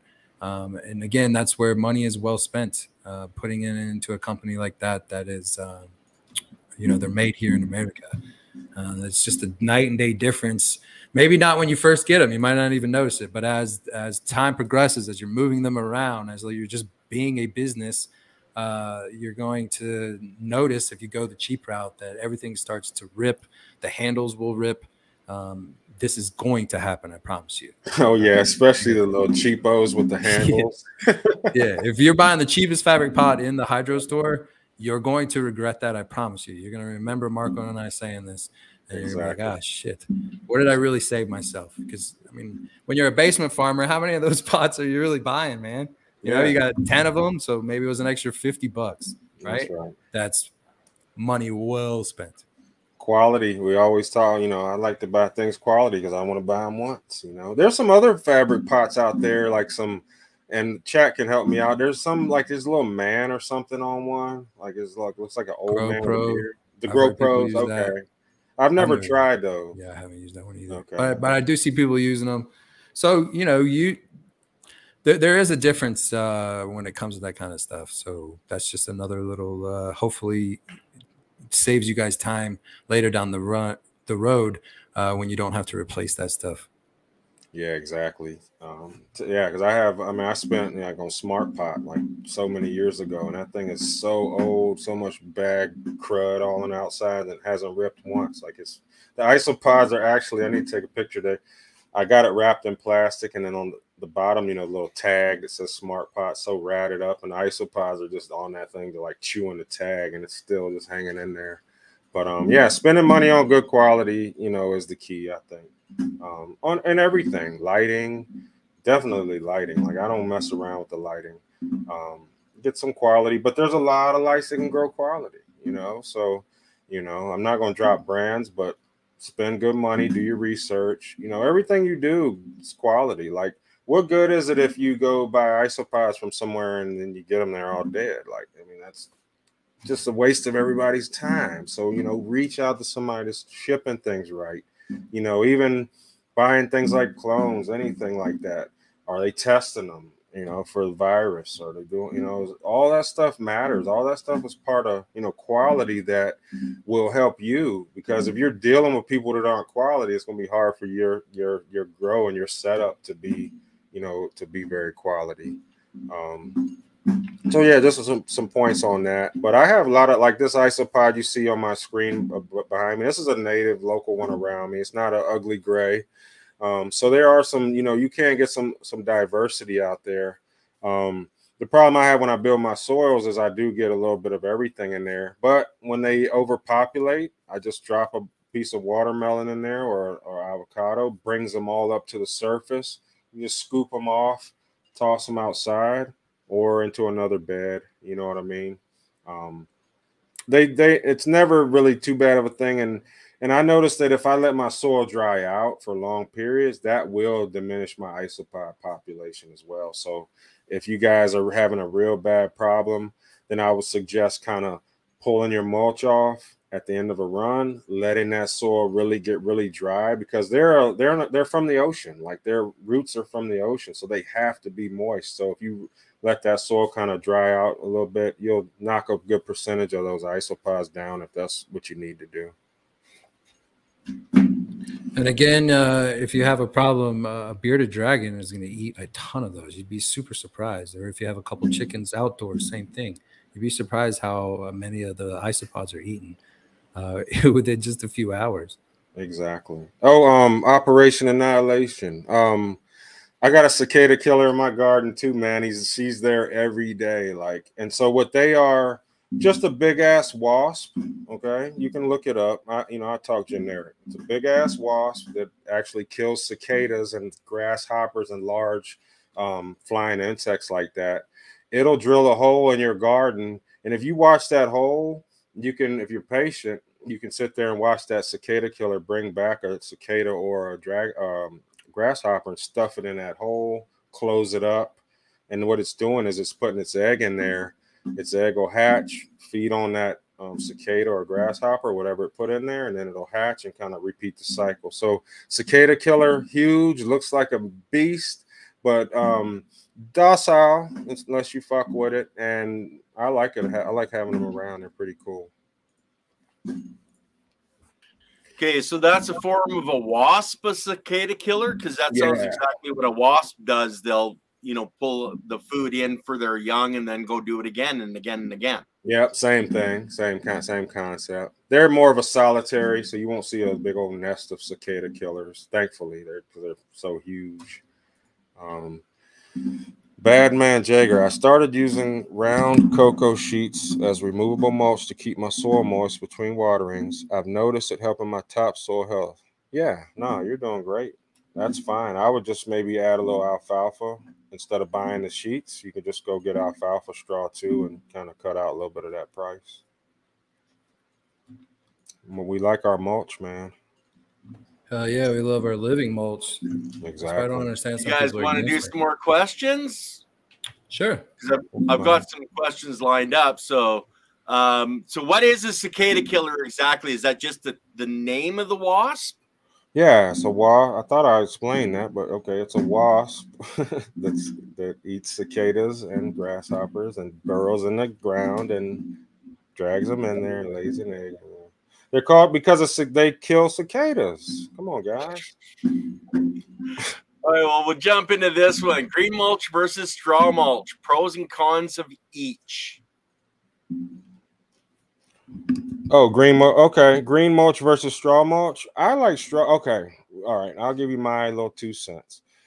I like uh, green mulch is fine. Okay, but I run a high amount of biology. My my soils are like there's pounds and pounds and pounds of isopods, springtails. There's so much in there. For me, a green mulch, I'm not getting that nutrient cycling because I need I take a good four inches of alfalfa and that shit shreds down to pretty much zero after a 10 week uh, run.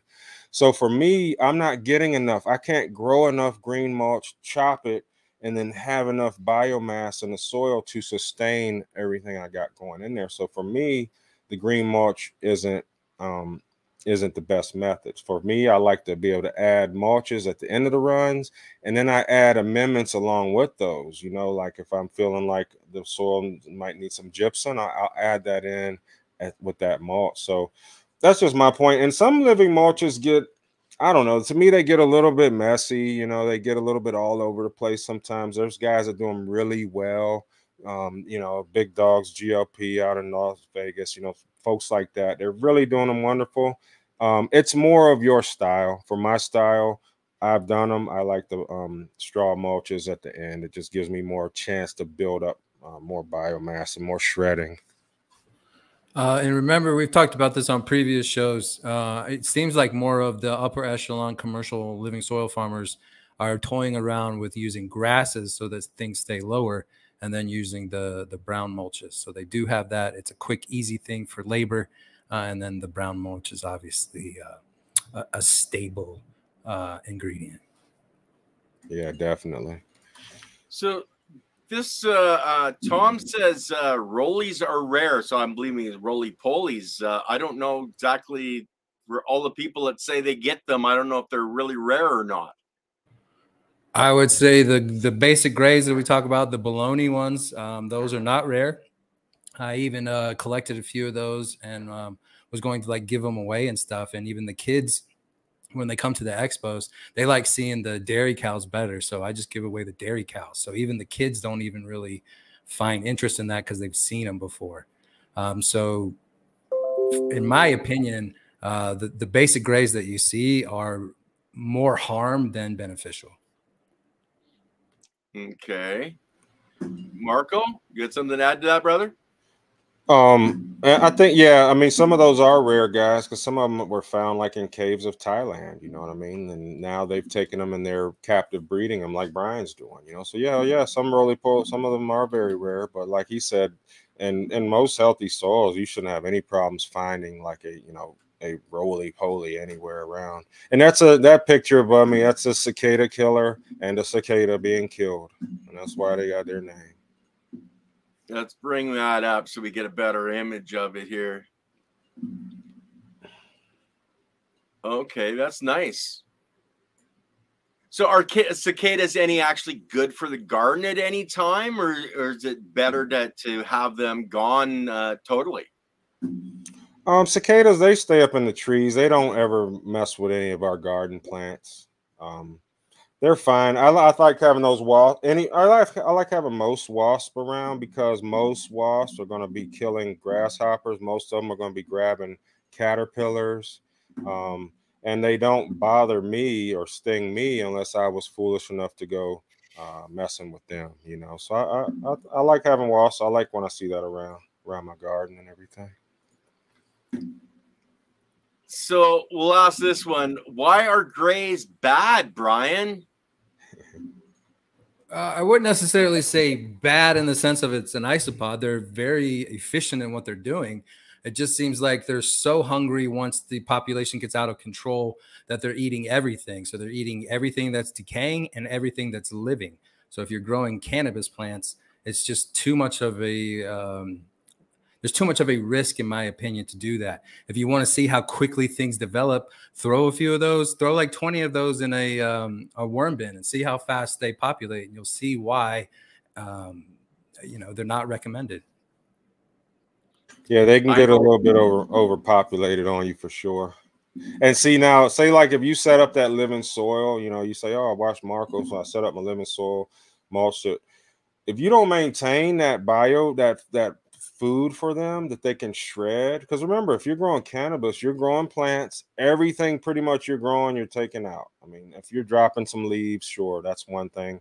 But remember, you're taking everything out. So you have to mimic, if you're doing it natural, you have to mimic nature. You have to mimic that chop and drop. That's the only way you're going to be able to feed your shredders. And when you feed your shredders, like your isopods, then you're feeding your springtails and you're going on down the classification to the smaller smaller microbes back fungi bacteria and it all kind of works together. But if you set up these big net living soils you got the isopods everything's rolling and then you get to a point where you're not thinking about feeding them they will start chewing your stems. They will chew your stalks. And a lot of times if you don't keep your soil moist enough they will go to that stalk too. They'll start chewing it um, getting that moisture because I thought I had a plant.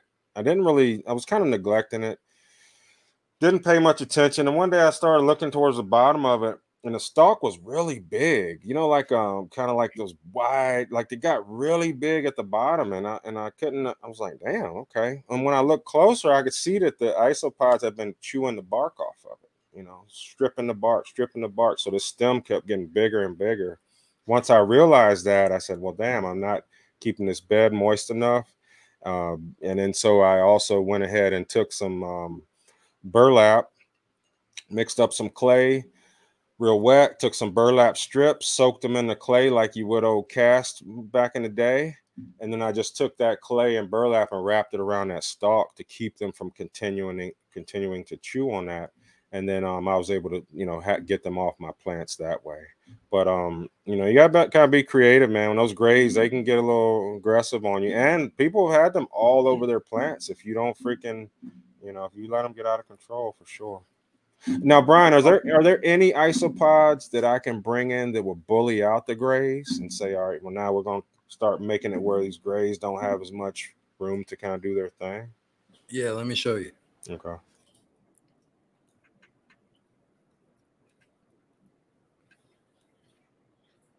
So these are the dairy cows. Um, can you guys kind of see? Man, You can see somebody moving around in the bottom. I don't know why the camera's all blue. Uh, let me see if I can. Kill your background, Brian. Maybe that would help.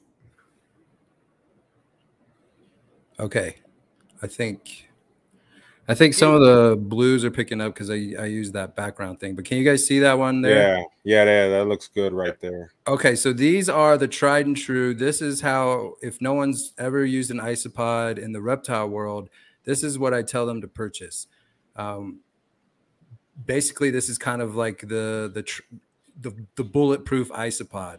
This is the dairy cow, Porcellio laevis.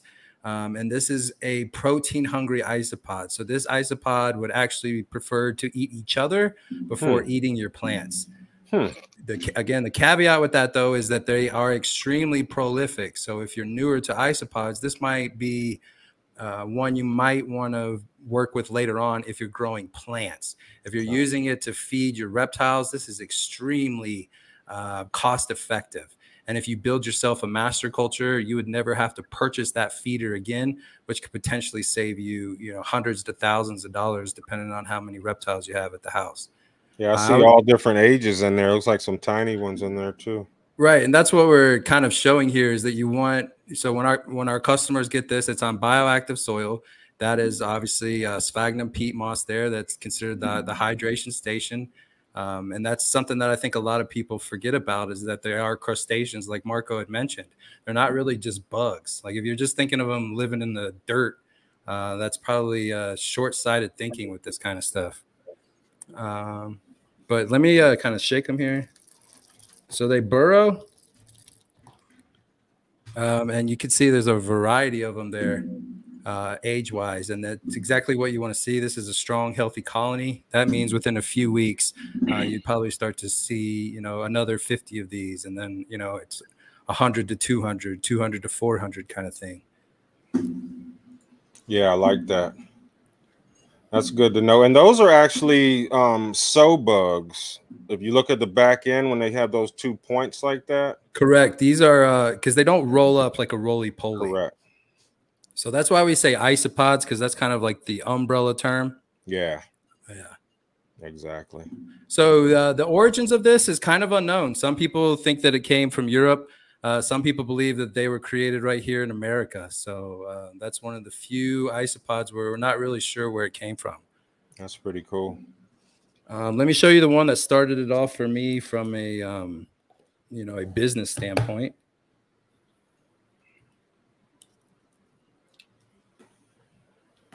Oh, that's so weird, dude. I know it's wild looking. Here, let me set that. Oh, y'all can see me. I mean, All right. so, somebody, if they have epilepsy, we're in trouble, man, because they're having a seizure. Well, definitely don't want that. Caesars are horrible, horrible things. Switch back to mine right quick, Ken. Oh. Uh, Okay, there you go, Marco. There we go. There we go. So this is this is look how big that is. That's in the same family as what he's showing you in that cup. This is from the ocean. Like these creatures came from the ocean, which is why you they they can't dry out. Like if you get to let them get too dry, they'll you know they'll die. But I mean, can you imagine that? That's crazy right there. And I think they get even bigger than that. Yeah, that's pretty fucking big. You consider that person's hand, that, and that's supposed to be, you know, the small biology, you know, but that's in the ocean, so it's got Yeah. the space. It's like a goldfish, maybe, because I know my goldfish when I was using them for my aquaponic system. If you gave them the uh, a larger tank, they would grow to fill the tank. The larger your, the tank was, the larger they would grow. I'm wondering if that's basically the same with isopods. Well, I'm sure there's a limit because of you know, but it may be true in the ocean, Ken. I bet I wouldn't doubt it. The ocean things seem to grow indefinitely out there, and fish, you know, are one of them. Let me uh let me turn off my virtual background. Those look like I what is it? Pandas. It, it looks pretty cute though. The virtual background. We're not sure, uh, you know, if that was Marco, it was the bug, or if it was the bug that was the bug. There we go. All right. Can you say this a little bit better that way? Hopefully. Yeah. Yeah, lock it in right there. That's not. We can see. All right. So There this we go. bug or this isopod is from France. Uh, it's the yellow zebra. So um, the white zebra is what started this whole thing for me.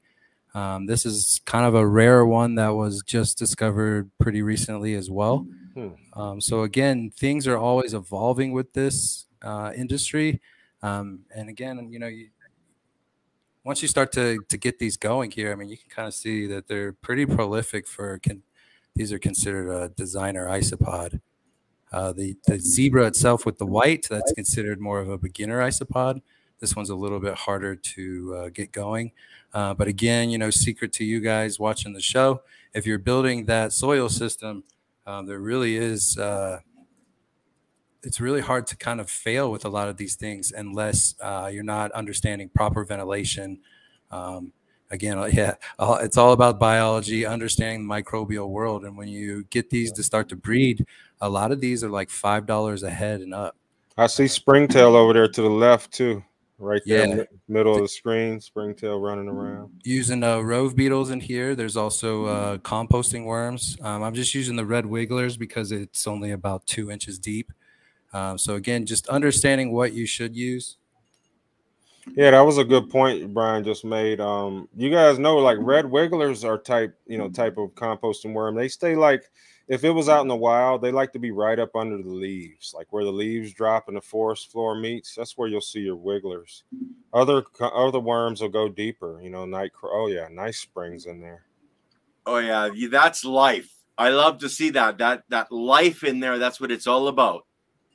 And to again to the community, most people in the reptile world don't know this. So you are already a step ahead of this stuff. Make that soil system. I made that. I know that most of you know how to make this kind of stuff. Uh, and if you want to even just go the springtail route, because buying these things is is pretty expensive, Marco.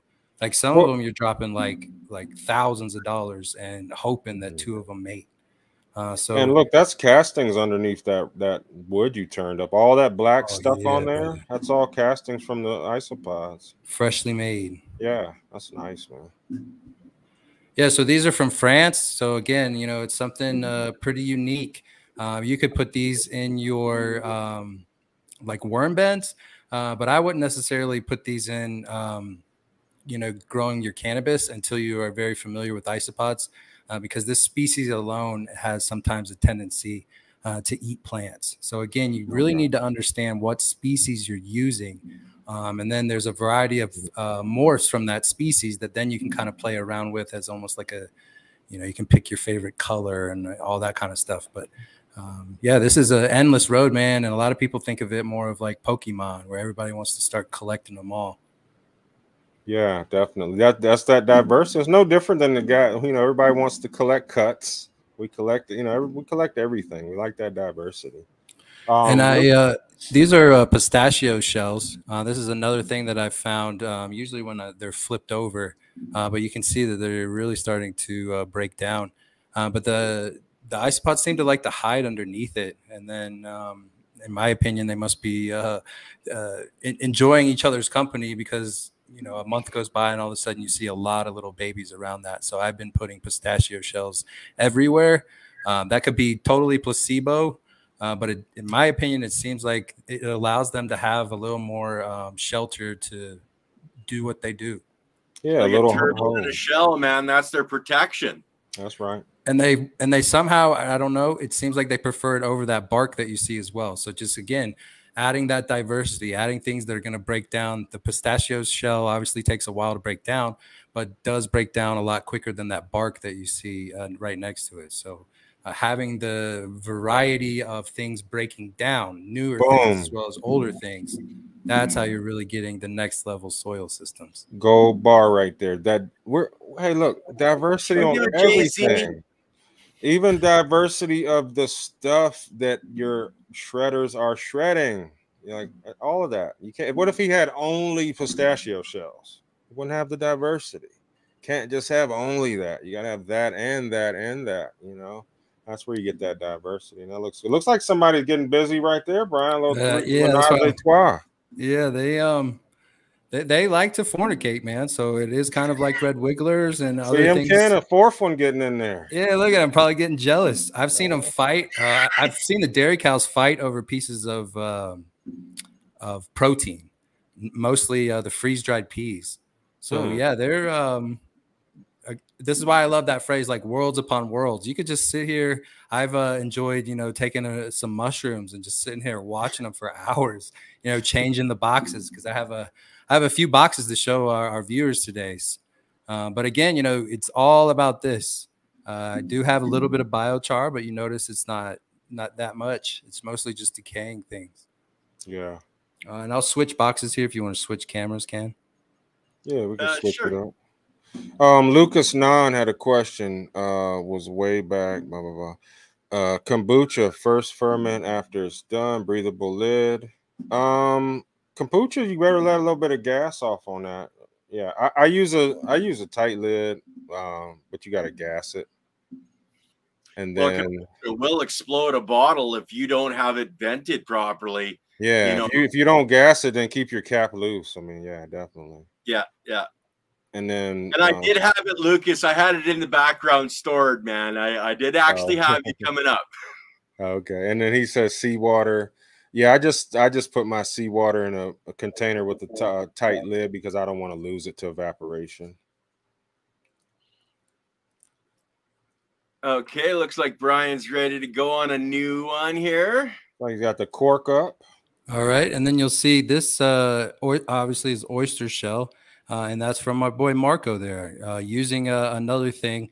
So I was using the pistachios in one bin, uh, started using the oyster shells in another. And again, I've noticed, especially if I go out of my way, kind of, you know, improving on Mother Nature. So I'm sprinkling the uh, food uh, underneath that oyster shell. you start to see a lot more um, reproduction going on. And there's something about the oyster shell flour that really allows the springtails to take hold.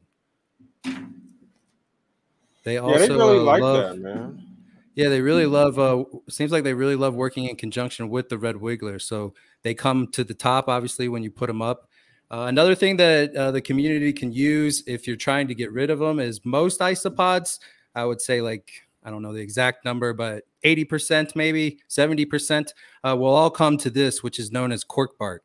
Uh, so if you put that around in that area, it is going to probably take a few days, uh, but they will start to take hold um, and they will kind of start to uh, build up a, a, little family here because that's what's going on. Um, and then the obviously the safer they feel, the more numbers that are around, uh, the actual um, health of the colony seems to take off, and that's when you'll see a lot of the colors kind of come in, the size of them. Uh, clowns aren't normally this big, um, and again, this is, in my opinion, because we're using the soil food web. Uh, so this is what kind of distinguishes me right now in the isopod world, as because this stuff is a little bit bigger uh, than other people are used to seeing, and it's all credit to the soil food web. So, so these are called clowns, Klugii clowns. Um, these are highly sought after uh, bioactive cleanup crew. um, you know, will become healthy. But I would say this colony probably took me almost a year to build up. Uh, so you guys can see that they're going to be breaking things down without ever um, coming close to uh, eating your plants. So this is another cool little isopod. Uh, this isopod is from Croatia. How many members do you think you started with this community here? Uh, usually, I well, when I first got into this, man, I was buying six, and I learned okay. real quick, just like with uh, cannabis breeding and stuff, that I could have bought six males. Right. I could just sit there and have you know three months of spinning my wheels. So that's when I started to try to buy at least fifty. Uh, if you look at the price points per head, sometimes you can see why I'm saying this is a uh, a chess move. You want to make sure that you understand how to take care of these before you start putting up that kind of money, because it does seem like it, that kind of money is needed to start most of these colonies, uh, where you then yourself are being able to breed enough uh, to handle all of your customers, because these are pretty rare um, outside of the isopod community. So when people see them, they usually snatch them up. Okay. And Dank saying, I want to farm isopods. I know, right? It's so Hey, cool. man. You got the plug right here. If you want them, farm them, start with Bryan. Shit. Okay, hey, and there's the website that you can go and order from Rubber Ducky Isopods, and then you know you're getting the good stuff with the good soil. It's bioactive. All right, uh, I got another one here. Uh, the Gestroi. These are from Italy. It'll take me a second though to switch them up.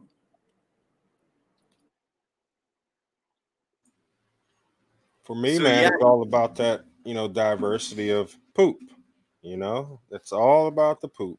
You know, you got a lot of different biology. You got a lot of different isopods, different springs, and you and it's, it's ultimately for the plant, right? I mean, that's the that's why I'm doing. I'm why I do what I do. It's crazy how plants just got us by the balls. Look at all the stuff plants make humans do. They make millions of people grow them in their basement, in their closet, in their attic, sneaking, violating laws, doing plants are making you do that. Isn't that an that's amazing if you really think about it? That relationship we have with you know plants. Oh yeah, and it it we can't stop because it's just it's how we are and who we are. We have to be creator beings and grow because that's how we grow inside as well. And uh like Bryan is is on an adventure of isopods and it's absolutely brilliant that he can bring it, show it, and this is another way for our community to get through these rough times is to look for these different things that you can do to sell and make money to survive. Yes, be unique. Find that unique thing that you like. What are these, Bryan?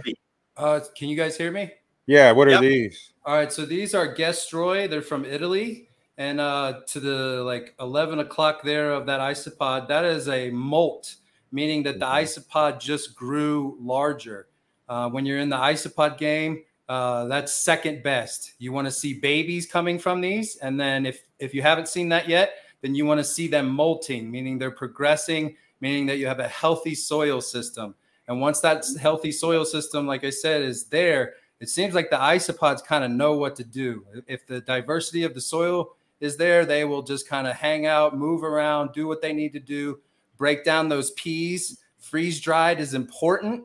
Uh, if it's not freeze dried, there's not enough nutritional value there. Um, that's another reason why I don't recommend using um, the fish flakes like you see a lot of people online talking about. There's a lot of fillers, a lot of colors and stuff in that fish uh, flake. Uh, that is, again, fish food. And I don't necessarily think that it's uh, a good thing to build your colonies. I've personally had colonies crash uh, using fish food. Mm. Gold bar right there. Good to know. So and that's why I put up KZ. Is it like pretty much like anything, Bryan? I mean, it's you can't cut corners, right? I mean, this is nature. There's no shortcut. He's this man's got to wait a year. If the thing breeds for a year, he's got to wait a year. I mean, yeah, I imagine you can just breed all of these before I even was saying I was going to be a business. Uh, by taking the time to realize that, you know, I, I research. Okay, why do these things cost so much? Oh, it's mm-hmm. how long they take to breed. Oh, because colonies crash all the time mm. well, maybe I could uh, have better success using the living soil system instead of uh, the main uh, substrates that these people are using. Boom. I love the way you think. So these guys obviously uh, love the humidity a little bit more, and that's why you offer them this in the corner. Uh, and then once you realize if they're really into it, I give them maybe you know a little less than half the bin so that they can move around, do what they need to do, uh, and again take water as needed, but also have the ability to move away from that water system so that things don't get so humid uh, that things start to uh, have almost that kind of like musky smell. And I have noticed from other people trying to do this that a lot of those individuals have that musky smell. And I think it's because they don't actually have anything living in the soil substrate. So just anaerobic things are building up. That's why it smells funky. Oh, hey Bryan, which ones are these? I like these. Uh, Gastroids. These are from Italy. Italy. And that's um, part of your biochar, Bryan. The biochar, we use it in cannabis as charcoal filters, but it is an odor remover. It will draw in the odor. That's why you should have at least 2% biochar in there. These things look like little box turtles. They're pretty cool. I, I, I want these. These will go in good. I'm doing a um, terrarium kind of with fish, and it's going to be kind of moist. And um, these might be perfect for that. So uh, for you guys too, so these uh, the things you see like that uh, Gastroids hiding up underneath, uh, those are just basic egg crates. Uh, so if you don't have the money for the cork bark, because uh, it can be pretty expensive if you have a lot of these things, uh, some people charge up to fifteen dollars a pound for them. so again, you know, do your research. Don't pay anything over maybe ten to twelve. and if you don't have the money for that, then use these egg crates to start off with they will also hide up like the benefits of the cork bark, but the springtails and the isopods will also eat it as a food source. So if you don't really have the money to feed them yet, or you know purchase things that are high in protein and calcium, it's just another way to be able to make sure that your isopods are alive and thriving uh, for very minimal costs. Most of those are about a dollar or less uh, for a pretty big crate. So that would go uh, probably three to four bins per sheet. So about a quarter per bin. Your springtails are popping in there, brother. Yeah, man. That was the one thing that I felt like I understood how to do when we were cannabis farming. I love uh, it. Yeah. All right, so, so let me show you guys. Oh, you have a question? Uh, how, yeah, how much uh, moisture and humidity do you are you putting in, and is it relatable to say having keeping them in your cannabis grow where you're already maintaining moisture and humidity? Would that work with them as well? It will, as long as you provide again that hydration station, which is that sphagnum you see. That's the main stuff on the the video shot there. As long as you sprinkle that within your fabric pot when you're growing in pots, or you sprinkle that around, um, and I would strategically probably spray it or sprinkle it away from the the stalk, uh, and then they will just move around as needed. Um, these will definitely not overpopulate. Uh, I wish these actually bred a little bit quicker. Uh, when people see these in the color, uh, they're they're usually pretty uh, quick to purchase. Um, they are a little bit harder to grow, so that's the only hesitant usually with people that see them. Uh, but yeah, the the weird coloring, the bright coloring is actually pretty rare in isopods, so this is one that sticks out. Yeah, yeah I, would like to nice. Definitely oh, sorry, put me down. I was just gonna say, put me down on the list for a pack of these when you get them. I hope to to be like the seed man, you know, with these things. That's exactly. Let me get a pack of them gastroids. exactly. are, are, they on on Dagga yet? Cause, you know, we could, we could be selling them on Dagga too. I should talk to Peter about that. You know, I I've always been, um, you know, I, I didn't think that the community would really be into this. Obviously, I'm promoting it because uh, we do the show without sponsorship and stuff, but when Marco said uh, that you got, you know, let's do isopods, and then um, when a oh, few yeah. of you reached out, uh, I'm just glad that some of you are as dorky as I am and uh, into this stuff because it's pretty easy to maintain once you understand how to build a soil system. Um, mm-hmm. Um, and then once you are maintaining instead of building that soil system, that's where you can take the time to improve things, get a variety of different uh, leaves and that kind of thing. Like we don't have magnolia leaves here in Colorado. Uh, so I reached out to Marco, like, hey man, do you think you could get these? Uh, and he was kind of teasing me, like, why don't you, you know, why don't you go outside and get them yourself? uh, so there's a lot of things that are like tip top things that you would need for breeding isopods that you might not necessarily uh, find locally. So again, that's where a lot of these expos come in, where you can almost get everything you need under one roof. And as Duff Nug says, I love it when a plan comes together for a good brother. And brother, you're a good one, man. Appreciate that, guys. This is uh, something that's fun. You know, I can look, you know, again with my kids and stuff and not have to worry about anybody uh, busting down the door for any reason. You know, and I, just think about like the way your kids are learning, you know, about life. And, you know, now this, you know, we grew up and this was a bug, right? We saw bugs. Your kids are growing up. This is dollar signs. This is food. You know what I mean? This is this is dope. This is great, man. This is great. Paid the rent for 13 months, guys, didn't it? You know, he already said that. He's paid his rent 13 months in advance so he can go out and use his money for this and it's making him money. It's it's and he said, you don't have to worry about your door getting kicked in growing this. Definitely. Absolutely. And, and maybe this isn't for you, but the springtails, uh, like I said, man, I mean, those are pretty easy to reproduce if you understand soil food web. Most people are breeding them on charcoal or clay. Uh, yes, you can find success with that. But again, I found more success by getting very old, decaying wood, laying it flat on a uh, springtail bed that has already taken off, give it uh, 48 hours and you can come and start tapping a lot of springtails from that piece of wood into brand new containers. And that's how i've been doing it for probably about a year and a half for this business. Uh, and i used to do it with the avocado tech. Uh, that's another thing that you can do. When you put that avocado down and things that are really starting to break down uh, you will have so many springtails that you can move throughout your system uh, that you would probably never have to purchase them ever again. So it's a excellent uh, return on investment uh, when you get springtails. And again, that there's a variety of springtails, so you can use diversity with those as well. Yeah, so that is dope. I've been doing that with uh, rove beetles. Uh, shout out to Chef Paulo. Uh, taught me how to build a little rove beetle breeder pen box similar to this, and um, they really love that um, actinobacteria, and so they've really been loving like wheat bran and and I just bought some from him. I mean, I bought some from M, uh, MI beneficials who we're gonna have on the show soon, and uh, put them in there. And it seems like I'm getting, you know, more. You know, I need to probably do an official count or survey, but I can see that they seem to be happy and they seem to be thriving. So, a lot of these things, man, once you get into them, you know, I'm always about it. I know Bryan, you got a business, and I and but I gotta say what I always say. I always work to cut out the middleman know, if that's something you're passionate about or you're going to use a lot of, you know, it uh, it benefits you to try to do it yourself. And shout out to mm-hmm. Bryan and appreciate you for you know sharing a lot of these things you're you're dropping on the people. So that tells you right there the man's got good intentions when he's showing you kind of his blueprint and his puzzle, you know, how he's doing it. And but if you don't want to do all that, he's got got the product for you too you know? So so great great way to run a business in my opinion. Yeah yeah.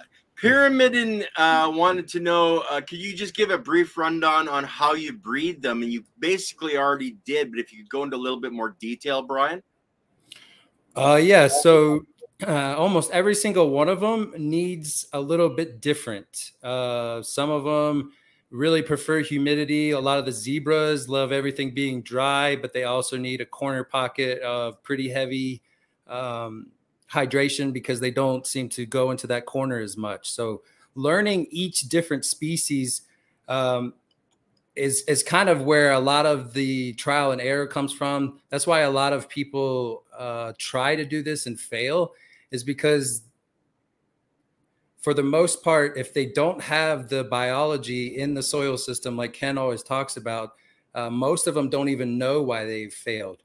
And so you guys have a leg up doing this because you understand that if I can produce and build up a a, li- a living soil system, and remember, each one of these little bins that I have is its own utopia. Some of them have their own issues. Some of them are so easy it's comical. Some of them that you think uh, should start breeding right away because that's how everybody says they are. Uh, they don't do that for you.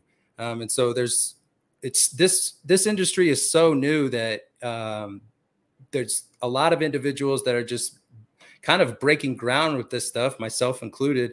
Uh, the bio dude, a couple other individuals around the country that are understanding this stuff. Colorado Chameleon. Uh, it's all about the bioactive setups. Uh, that is the future of the reptile business. And for the feeder aspect, that's why I've created rubberduckyisopods.com. Yeah, and it's all about the biology, and that's what the guys in the chameleon industry they call it bioactive soil, but it's the same thing. And Bryan has a lock on it because he's already learned how to do a bio, you know, active soil that's going to promote everything that he's doing. Yeah, the you know it's built in. It's not added. You know what I mean? Like when I sell yeah. you that when he sells them isopods or whatever it may be, it's already built in. It's not added. Like I didn't he didn't dump springtails in there and just started filming. You know what I mean? That stuff's built into it. And that's the that's the great thing about it. Well, and you're he's creating a, a, a string of life in there, and that's where things just slowly improve because of all the different variety as the substrate gets broken down. It's creating more that the springtails not only can eat, but it's creating more biology overall. And you're creating that ecosystem inside of the tank um, or box or however you're growing it. And it, you have that complete system. There you go. It, it all works out just uh, really nice. You got a, a big tank there, Marco. Let's take a look. Well, that's what Duffel Bag was saying. He'd like to see it in a horizontal system. So this is um, a horizontal soil that I built. It's my little terrarium. It's kind of like an isopod setup, and um, works wonderful, man. This is how I build my living soils. Same type setup. Sand filter on the bottom, gravels on up to A horizon and O horizon. So, yeah, definitely, man you guys are on it. yeah, exactly. Having that all the different levels of there and it's all that complete ecosystem. As soon as you have that total ecosystem, you're going to see things popping up you didn't think you'd ever see because it's the the material is there to create that insect, to create that biology. But if you don't have the whole, whole ecosystem, well, it's impossible to actually do that. Exactly. It's a whole yeah. So you got to have them all. You can't just have one part. Yeah, yeah. So this is somebody new, Bryan. Uh, yeah, this is um, to my understanding, myself and one other person are the only people that have this. Uh, it's called the Platinum Ducky, um, and it's extremely shiny. Like the the video won't do it justice, but I'm going to try to get a, a zoom in on it here.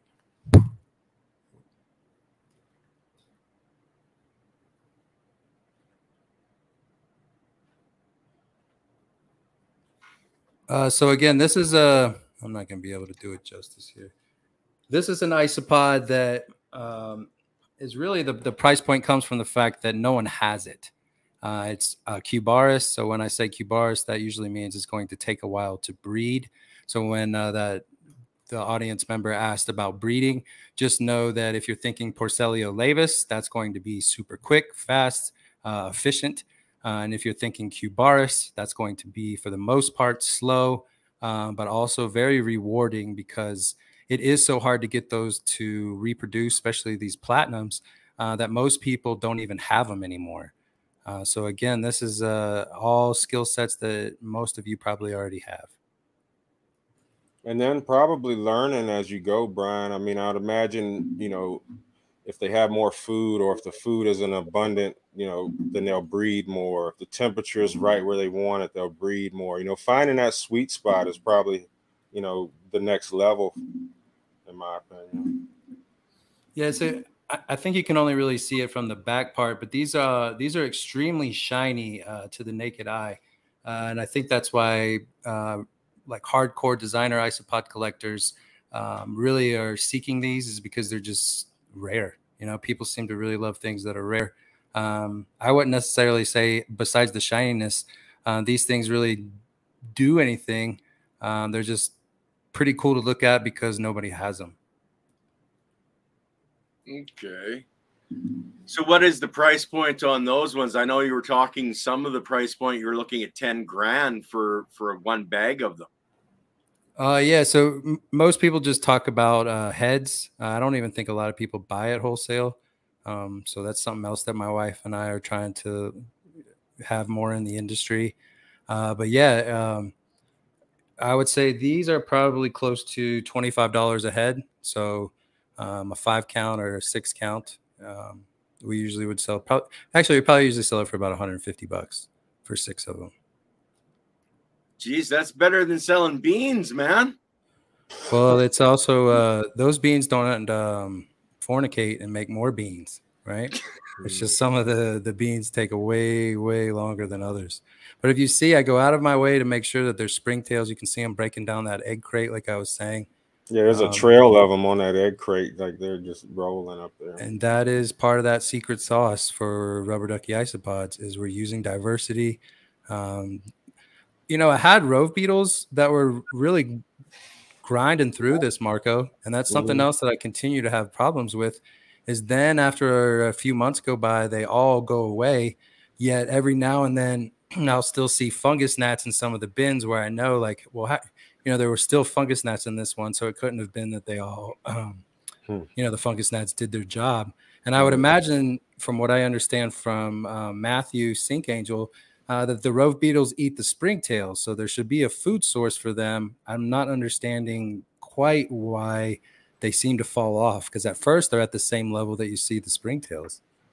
Well, you know, I you know, Bryan, I, I look like how we're looking here, and I and I look a lot, and I see a, I've seen a lot of rove beetles just walk right over mm-hmm. top of and by springtails, and just mm, like they don't even give a mm-hmm. shit. So I feel like that mm-hmm. there's an alternate food source, and I think it's that actinobacteria. And I think the larvae of the rove beetle probably will consume that um, fungus gnat larvae, but I don't I don't really see the adults like eating a springtail. I'm yet to see that. Okay. I mean, I, I'm not saying that they don't, but I just haven't you know seen that. Everyone says that, but I have not. I've seen them as like walk right by. You know. So there you go. That at, for a moment there, you could see like how shiny they are. Oh, like yeah, it, they are. they are like like a like a chrome polish almost. That's what they remind me of. Are they like a clear shiny? You know how some of them you can see into their insides. Is, there, is it that, or is it like a silverish? You know, not It's like a silverish purple shine to them. nice. Yeah, and they uh they really shine. So uh, yeah, if you're really into these, um, I'm not even selling these yet um, because that's how long they've taken to breed. So uh, I'm actually kind of giving you guys part of the uh, the secret sauce of stuff that's coming next year. Uh, Mm. that's how long this stuff takes to breed. So if I have something that's coming out this year, that usually means that I was working on it last year. so if you want to make some money, go find Bar. it. Huh? We put that one to a Jay Z gold bar, Bryan, because uh, yeah, that's worth it, buddy. Oh yeah. Yeah, and um, you know, if you have a little money in your pocket, you know, I, I, you could probably do this too. You know, more the merrier. I think um, this is there's there's plenty for all because it's just just starting. Um, and like I've always felt, um, I I've always even joked with Marco in Vegas, like we don't have uh, like yacht money ambitions, so I don't. You know, I'm already taking care of my family at this point, so it's only going to get a little bit sweeter, um, and that's really all I'm after. So plenty of opportunity for you individuals that want to uh, farm isopods. The feeders is probably easier to start with, but hey, if you like a challenge, jump into the Cubaris. Um, just know that you're probably going to lose a little money, you know. And I, part of my background was uh, playing poker for a living, so that's okay with me sometimes as long as it was calculated risk. Um, and that's what I was trying to do is ship some of these uh, really unique ones from Thailand. Sometimes they made it, sometimes they didn't. So uh, for the super unique stuff, you still really have to do that. Um, so there is a little bit of risk involved, money risk, and all that. So just wanted to tell you guys that as well. It's not like this is some kind of quick get rich quick thing, or you got to put a lot of time and effort into this. Um, but you see that the benefits take hold after a few years. Yeah, this is chess moves. Definitely. This is definitely chess moves. It's thinking ahead, what's next. You know. So if anybody's got the plug on those silver boys, you know Bryan's gonna buy all you got. Hell yeah. I got a uh, one that I personally think is the coolest next. So uh, we're to check that out. This one is from Spain. Good deal. Good deal. Now, is this one going to be a little bit more arid in the um, region uh, or arid in its uh, environment? Are all pretty much going to like that moist, warm environment? Most of the one, or actually all of the ones that I'm showing you, except for the dairy cows, love the moist environment, um, and they're really unique. Like all of these things are pretty rare, especially uh, the ones that I'm showing you from this point on. Nice. Okay. Do you have some of this stuff on your website that I could bring up too? And I know you have, uh, you know, isopod care sheets that you have done for, you know, how people should be caring for the isopods, etc. Uh, so, guys, all the information that Bryan is sharing here is also on his website, uh, and some of it in more detail on the, the care and management. But is there images you would like me to bring up after we show the the next round there, Bryan? Uh, no, I mean maybe just on the website. We were fortunate enough to uh, be on the news because of how unique this stuff is. So I was showing them uh, some of the stuff I'm about to show you guys. Uh, yeah, and they had never seen it before. So uh, check out. Um, I think it is like our um, frequently asked questions page. Uh, if you click on that, it allowed me to have a link to it, and then you guys can see it was um, the news channel down in Colorado Springs. Uh, so check that kind of stuff out because uh, I'm very proud of that. Uh, that also creates what's known as backlinks. So if you are into building your own websites, you need to understand that kind of stuff. That putting in time and effort, you have to earn backlinks, especially from high-end um, domain authorities like uh, news organizations. But that is the kind of stuff that bumps up your uh, websites. So hard work. There is no other way to do it. Uh, but that is part of the cool aspect of this is that if somebody finds your stuff important or thinks it's worthy, they will uh, link to you. That's called a backlink. And then the more of those that you get, uh, the more Google algorithm favors what you're doing. So you don't know that, that is a super Jay Z bar because I had to watch like 40 hours of videos to just really understand that part. Yeah. All right, so these are the Bolivari, Porcellio Bolivari. Uh, these are, in my opinion, probably the coolest ones uh, outside of like the rubber duckies that made this whole thing a, a thing. You know, a, all we're seeing is your computer screen, brother. Oh, one second. There we go. Oh yeah, they're like ghosts. They look sweet. Yeah, so there's some babies so for the people that have ever um, tried to breed Bolivari, you know that is such a happy sight. Uh, that can sometimes take a year or so. Look at all these babies. Boom. I don't know if y'all can see all that. So obviously that's the adult. And if you can oh, yeah. see the, the coloring and the size, uh, that's not the norm. Uh, a lot of the the people breeding these things, they're not able to achieve that color. And again, it's not. I'm not doing anything magical other than having that microbial, that biology within the soil substrate, in addition to feeding them calcium and protein and, and fruits and vegetables. So having this uh, is fantastic.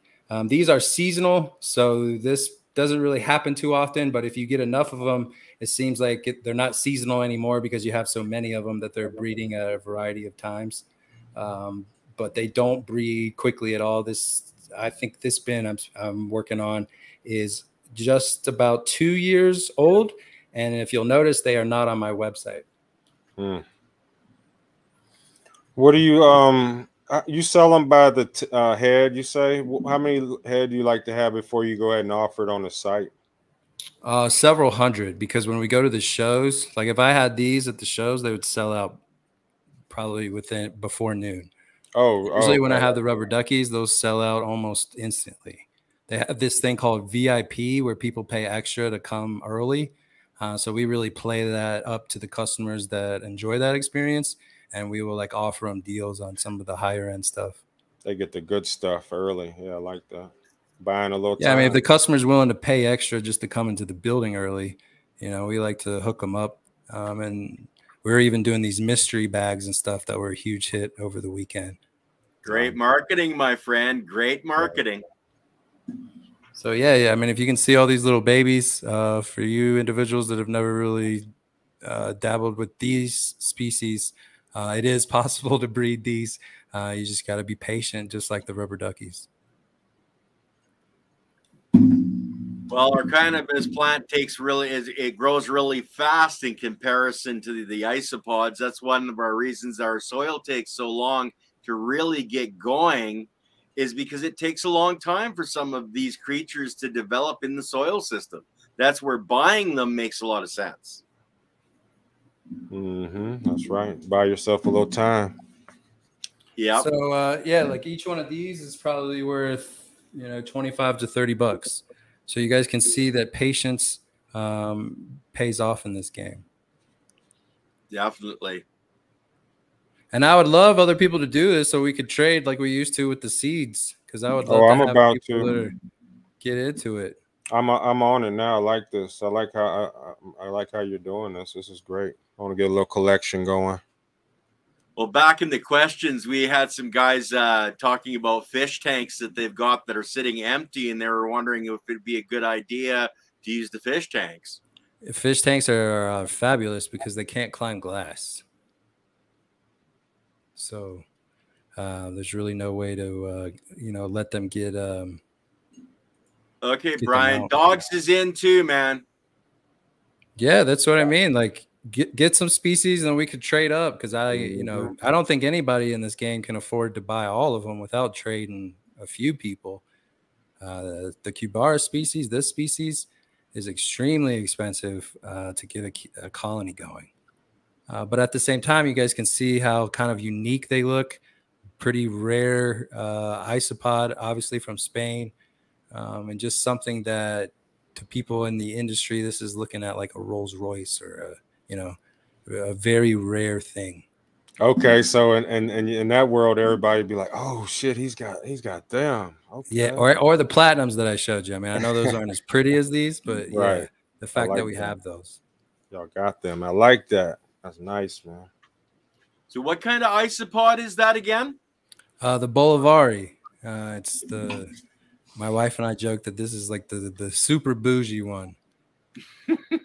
people love to uh, put these in vivariums and terrariums um, and just kind of let them grow without a reptile in it. So it's almost like a fancy ant farm. Boom. And if you can get the colors to really pop, uh, which you can achieve doing the soil food web, uh, people really notice that in the industry. Um, people that are hobbyists, it's kind of the same way, you know, when you're growing cannabis.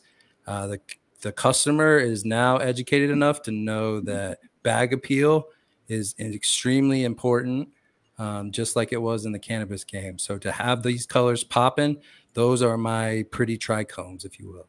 Mm-hmm. Yeah, and Dogs is saying a collective that specializes in rare arthropods and cannabis. There you go. Hell of an idea. Hey man, we're sparking their minds. That's all this is about. You know, give somebody a thought and go and run with it. And it is all about caring, sharing, and community. That's one of the things we preach all the time. And this is caring about the community enough to share this knowledge and understanding that, hey, you can make money with this, guys. Come on, everybody, jump on. Let's do this. But it's not. I want to. I want to st- like this. Isn't. I'm not trying to say like, hey, put some money into this, and you're automatically going to take off with it um, because there are a lot of people that have tried this. Even from learning this from me, uh, there's some other vendors that were trying to breed, and now they don't even bring their isopods because they just can't keep up. So I want you guys to know that it's not. This isn't like a turnkey thing where it's just like, hey, I threw some shit. Just like in the cannabis game, like some people think when they first get into it that you throw a plant and some dirt and boom, everybody's riding around in fancy cars and eating steak dinner. And that's not mm-hmm. true. And it's the same thing with this. Um, you're probably going to lose some investments with this stuff. Um, I've had to buy multiple colonies uh, before. I've had multiple colonies crash. Um, and again, I think that came from the fish flakes, and those were early beginning mistakes. So don't make those same mistakes, and you probably won't have those same issues. Uh, but yeah, the overall health of the isopod should really come from uh, the soil food web. Um, mm-hmm. And that is the gift that we try to give you guys each and every week is that once you understand that, uh, there's a lot of doors that open for you. And uh, now you need to kind of find your own niche and run with it. this can be very sustainable, you know, in its own in itself. You shouldn't have to be going. You don't go to PetSmart and buy shit for this, right? I mean, once you're established. You're, no, PetSmart is almost yeah in the reptile world at expos and stuff. It's like miracle, like saying you're going to Walmart for your pet. You know, people are kind of they kind of turn their nose up at that. Exactly. That's why reptile expos exist, is because they want you to buy a reptile that actually is well taken care of. Um, and from what I understand with Petco and PetSmart and all those, they only have so much money allocated per animal. So, like, if you just to keep it simple, if something costs, you know, they gave 20 bucks to it, but it costs 50 bucks to fix the animal, they don't do that. No, um, it's all money. It does seem like the reptile community, they actually, most of them, unless they're beating their animals in front of kids, seem to really care about uh, what they're doing and again, this is kind of like their artwork, especially when it comes to snakes, geckos. That's really hard to achieve some of the colors. And then again, it's the same thing with the isopods. Some of these colors are really hard to achieve. So once you achieve them, people remember your brand and your name. Yeah, I love it. So is that your last uh, last display there, Marco or Marco Bryan? Should we be jumping into questions here pretty soon? Or uh, I got three more. Let me run through them because these are kind of the coolest okay. ones. And guys, I, have been saving your questions. We'll be heading them, uh, hitting them on the end, and we got some from Facebook uh, as well. And uh, great for you guys on Facebook to be joining us today.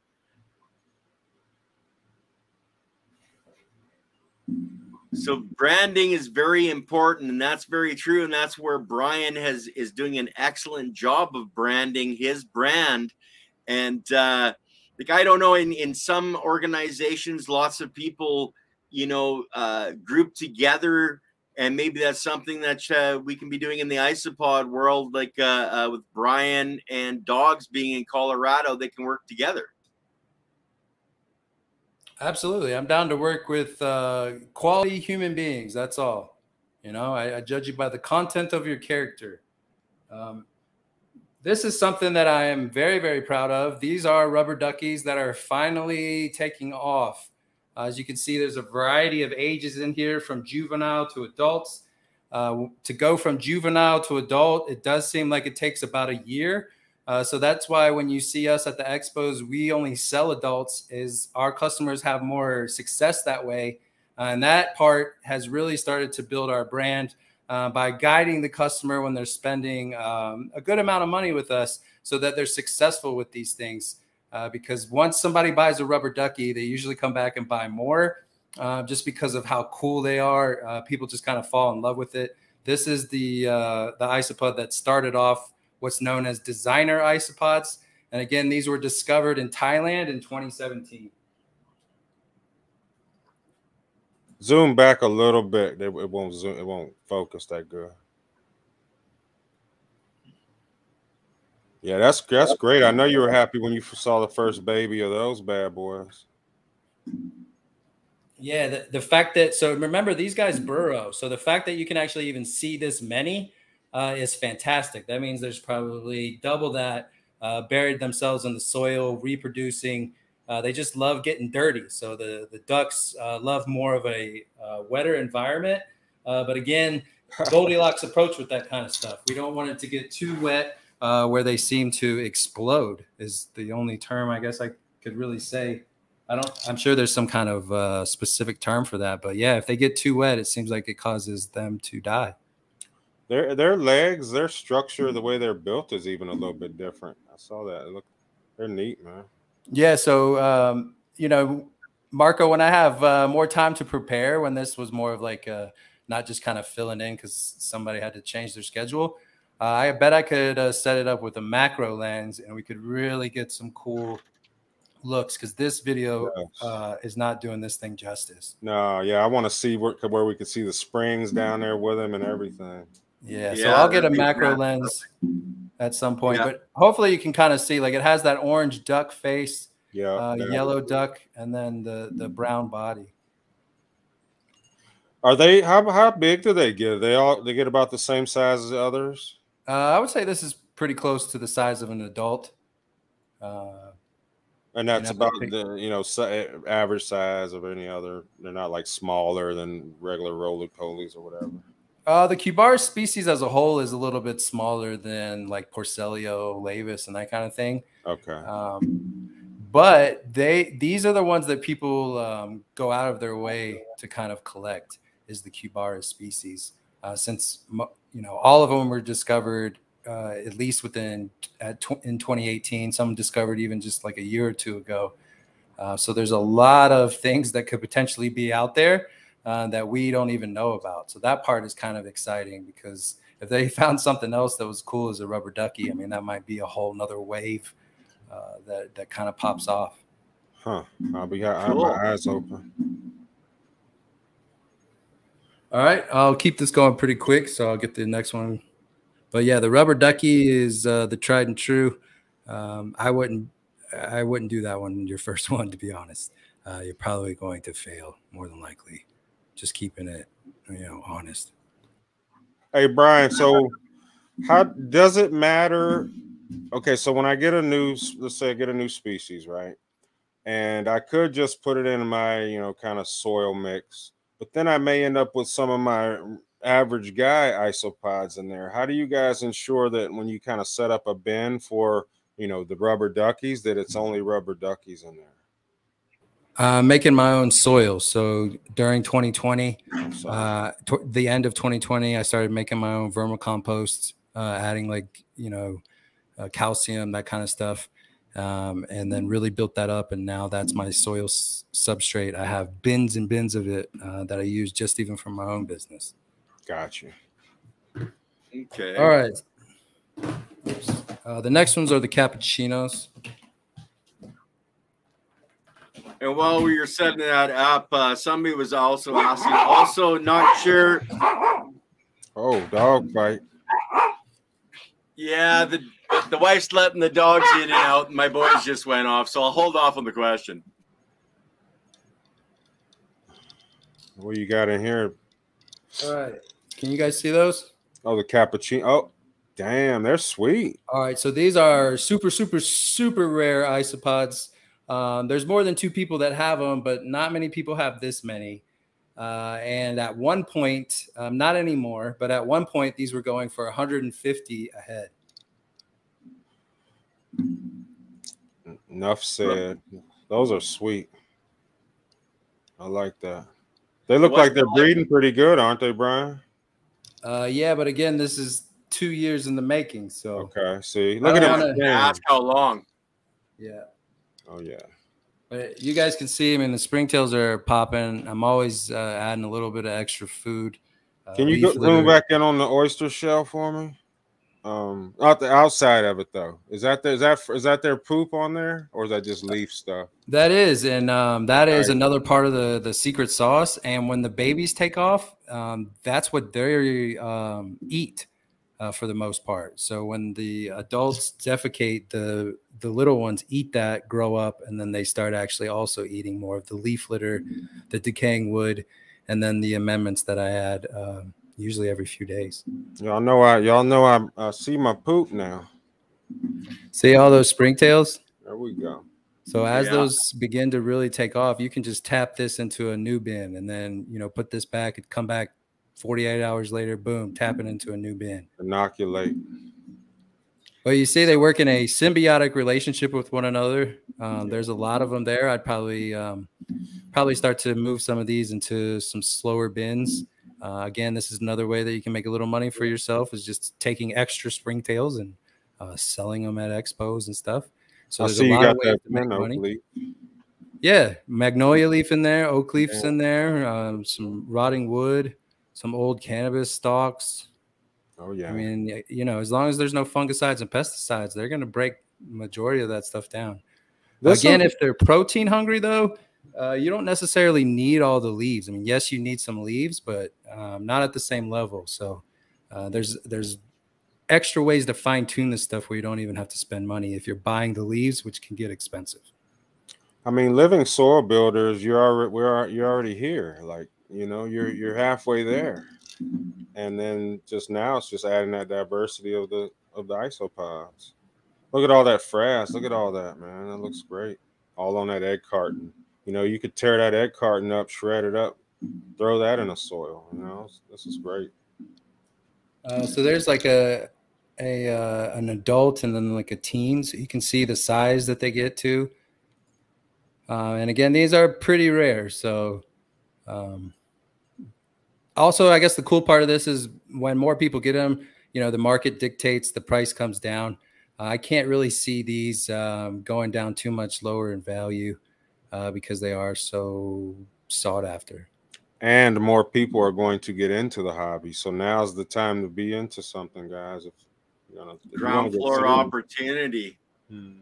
And see that coloring and all that. Uh, again, not everybody's got that. So um, you, I promise everybody watching this, if you've been growing cannabis for a couple years, you have the skill set to get these colors uh, at the same level that I'm getting them at, and the customer knows the difference. Uh, your your customer really knows the the bag appeal, if you will, for an isopod, and when they see this, they uh, they buy it. They that's that calico look. Yeah, these are the cappuccinos. Yeah, I got that three color in there. That's sweet. All right, let me get you know, the last I do one. have one one silly question, and maybe I'm not sure Marco might be able to answer it better than Bryan, but they're mm-hmm. consuming the or the babies are consuming the feces of the parent. Are you thinking maybe that's possibly to get the gut their own gut bacteria going on it? I'm sure, man. You know that that only makes sense. You know, follow behind mama, eating some her poop pre-digested. Yeah, that's that's wonderful.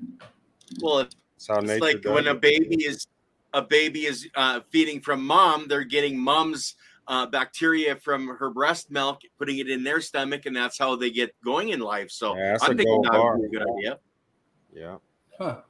All right. Well, that so, got a molt in there. So these guys right here are the yellow. I'm sorry, the white duckies, uh, and these are super, super, super, super, super, super rare. And that oh. white one is actually a Japanese magic potion from Japan. Uh, oh. I don't really know how that one got in here, but uh, a little trickery there. Huh. You know, every now and then they might be like on my clothing or something. And so uh, I don't really notice it. I go to the next bin and it falls in. Um, that's probably what happened here. Mess around and breed something new. I wish, yeah. Uh-huh. So these um I've had these I think for almost 2 years as well and they've barely reproduced. So I hope that you guys could see that all the cool shit just like in life uh, takes forever. So those guys there have been just alive in there a couple years. Yeah, I'd say about 2 years they got this um, I went more with like a living mulch for them. Again, you kind of got to find the sweet spot for this stuff.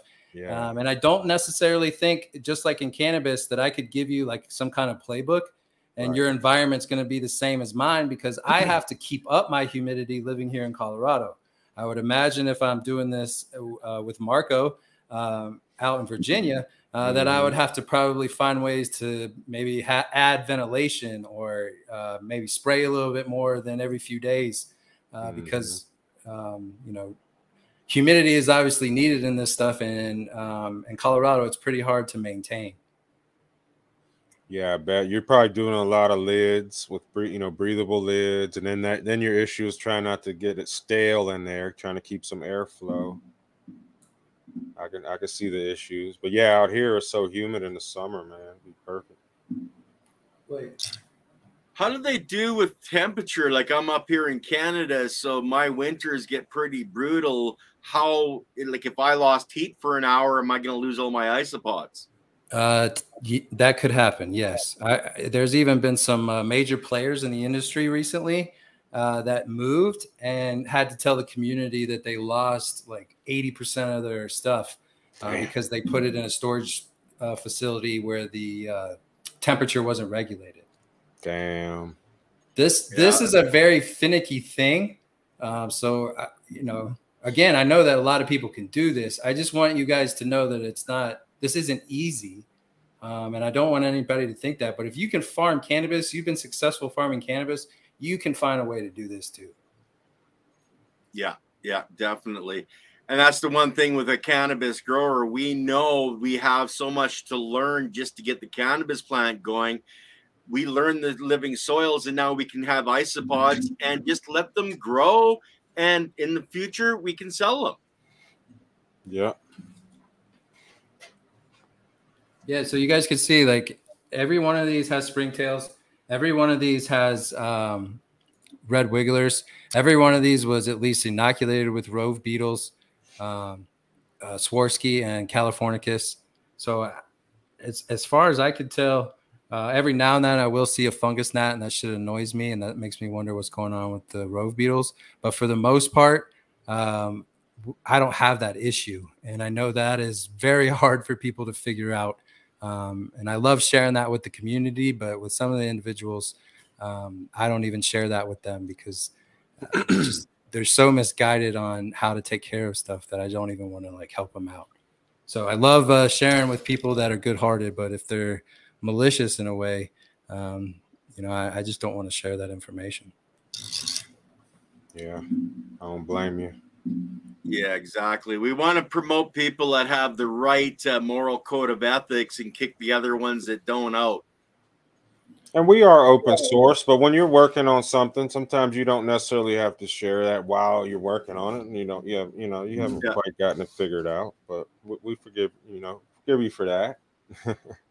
well, and considering the knowledge that we bring on is generally the, you know, a lot of cutting edge information that's just being released people have to understand that's rare information. That's one of the beauties of this platform. That's right, Ken. You're right about that. Oh, that's beautiful, Bryan. Oh yeah. yeah. All right, so I think you guys kind of get the, you know, what I've been up to and, and seeing things, um, and then again, I hope that you guys find your own niche. Maybe this isn't, you know, I had to really, to be honest, I had to talk my wife into really understanding that these didn't get out and they weren't like roaches and they don't smell and all that. Uh, so maybe your wife wouldn't let you do bugs, uh, but maybe she'll let you do springtails because those don't necessarily get out either. Uh, grow Snakes. plants, mic- yeah, microgreens, whatever, whatever it is. If you know how to do soil, there is something that you can make a little extra money at. And if you turn that into a real hustle, it can become a business for you. Yeah, yeah. So is that just uh, kind of uh, uh, something you picked out of the forest because it looked like uh, um, you had some uh, uh, oh geez moss in there? just live moss. I can purchase that from like high end garden centers here in Denver. Okay.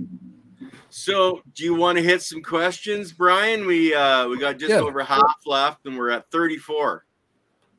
Yep, yep, yep. Now you guys can see okay. how. Okay, so we'll go with uh, Jay. You can't buy worm-filled living soil from the grow store. I, I believe he's um, like saying it like a point, like uh, like yeah. biofilm, all the stuff that comes from um, composting worms. The fact that they're going to build those dissolved oxygen channels uh, and carry a lot of those springtails and rove beetles for you uh, it makes me feel warm and fuzzy at night because I know that things are continuing to improve. Uh, and that really makes a difference for me. Learning how to do a lot of this stuff is like, okay, if I'm going to put time and effort into understanding this, watching videos, you know, especially back then, it was a lot of, uh, you know, hour long video for maybe one gold nugget or two. That's why Marco, myself, Leighton, Peter, Ken, everybody that's a part of the show, Chad, when we were uh, thinking behind the scenes on this stuff, we wanted to make sure that we were giving people a lot of information, a lot of experience, gold bars, uh, because three hours is a commitment. We understand that, but to really have a candid conversation, it also sees seems like that is where you are su- successful in podcasting is talking to someone for that long, uh, because we always joke you can't fake the funk. So if someone's um, not willing to come on the show, which has happened to us in the past as well, Marco, where they realize it's live, and you know part of that I respect, and then sometimes I think it's because it'd be pretty hard to bullshit uh, the three of us for three hours, you know. So yeah. uh, this community is badass because the people that are involved in it are genuine and they want to help uh, each and every one of you guys, um, and that is something that is really awe inspiring for me because this shit has gone international Uh, and so many people have such a different skill set uh, that we are learning each and every week uh, by just coming and journeying this. Uh, I love to call it a church now. This is uh, something that I look forward to each and every week. Yeah, I mean, look, I think people will dig just the like I got a micro cam too, and just we can just the views down low, you know, weekly isopod checkup when we don't, you know, things like that. What's the soil doing? Because if you're like me, I sit there and I just look, and I know you sit there and look in your bins. I know you just watch those isopods, just checking them out, seeing how they're moving, seeing how they're living, what are they doing, and people that watch this show, I think, like shit like that. So I think we should do a little more of that kind of stuff. You know, soil check-ins and discussion on what things, you know, just like we do, man. I think this is a great show. I like, you know, the amount of different topics we touch. You know I mean? We're damn sure diverse in what we talk about. We talk about a little bit of everything. But we all got a little bit different background too, you know. So we bring some different things to the table. Like my man is the plug on designer isopods, you know, like this presentation, like, dude, Bryan, I've known you for a minute now, and like this presentation really sinks it in now. Like I totally get the whole concept now. So I really appreciate you, you know, showing your stuff, man, and dropping all these little nuggets, bro. Appreciate it. Yeah, man. Yeah. And um, you know, we, we I try to do it in living soil and in cannabis. And the reality was I just didn't have enough money of my own so that I could kind of control things so that shit didn't go sideways. Uh, but that's the cool part of this stuff. Maybe, you know, my dreams are obviously set super high maybe farming cannabis really isn't in the stars for me. Uh, I realize that now. Um, but I can control this aspect because I'm in, you know, I can fund it myself. I can do it myself. I don't need anybody to help me along the way. And that's why I think I'm so committed to this and it's taken off like a rocket ship is because it is my baby. I've just had a daughter. I can't, I burned the ships. I'm on the island. I can't sail back. Boom. I like that. I like that. Hey, and guys, you know what? And I, am sorry to jump in, Kim, but so we've had guests in the past tell us, man, like think about it. When the big listen, I just watched something. We had a guest um uh drop some knowledge about CRISPR, the DNA shit. Everybody knows about that, like how they're manipulating plants. He said the plant can be covered from fucking stem all the way to tip with trichomes when the, when they go federal. So point is, like Bryan said, just mastering growing cannabis might not be sustainable because things could, you know, it, it could make it to where the market is so we you know it's so you know difficult for a solo you know person to make any money. So you have to diversify. You have to think okay well what else is associated with cannabis that people are always going to want or even growing plants? Or like he did outside of plants and went to reptiles you know and then blending them both back together. So to me, like business and it's all mindset, man. Like it's once you get that mindset and you start putting pieces of puzzle together, and then you make pieces and you're growing the pieces and then putting them together, it becomes a real tight fitting, uh, you know, piece, and and you can really dial in and, and you're doing something you love. You know what I mean? So yeah, yeah. Cannabis can be a starting point for breaking off into a whole bunch of other businesses, guys. Think outside the box. Don't just, you know, regulate yourself to one position and one way of making money. Look at anything that's possible. And a lot of things don't have to cost you a lot. You can raise worms and sell them. Doesn't have to cost a lot. Right. And yes, CRISPR is bad. I get that.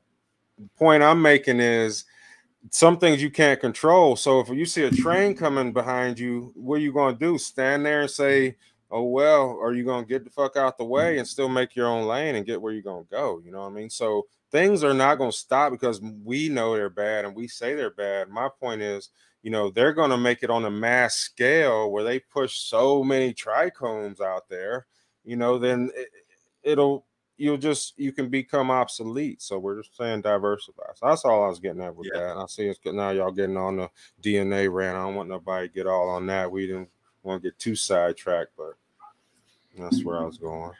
Last week was sidetracked. This week we're still on, you know, partial living soil. Last we're on week, the tracks. yeah, yeah, yeah. so, how about this one? Roly polies are bad to have or good? Uh, again, it's going to matter about what isopod species you're working with.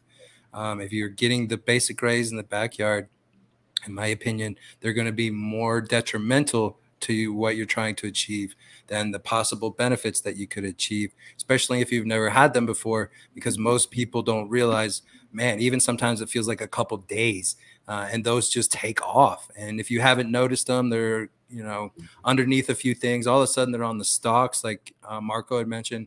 Um, so if you're seeing that, then you're, you know, you kind of missed the boat by a few weeks.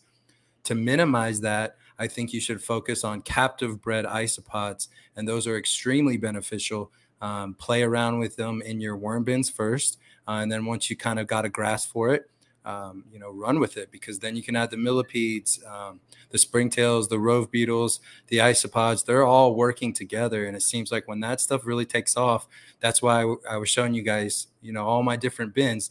I still look at those as all their own little utopias, but at the end of the day, or you know, a year, two years, however long that takes, they should all uh, hopefully eventually start to look the same, have a lot of diversity, but have that super soft uh, almost like velvety soil, and that's coming from the composting worms. Okay.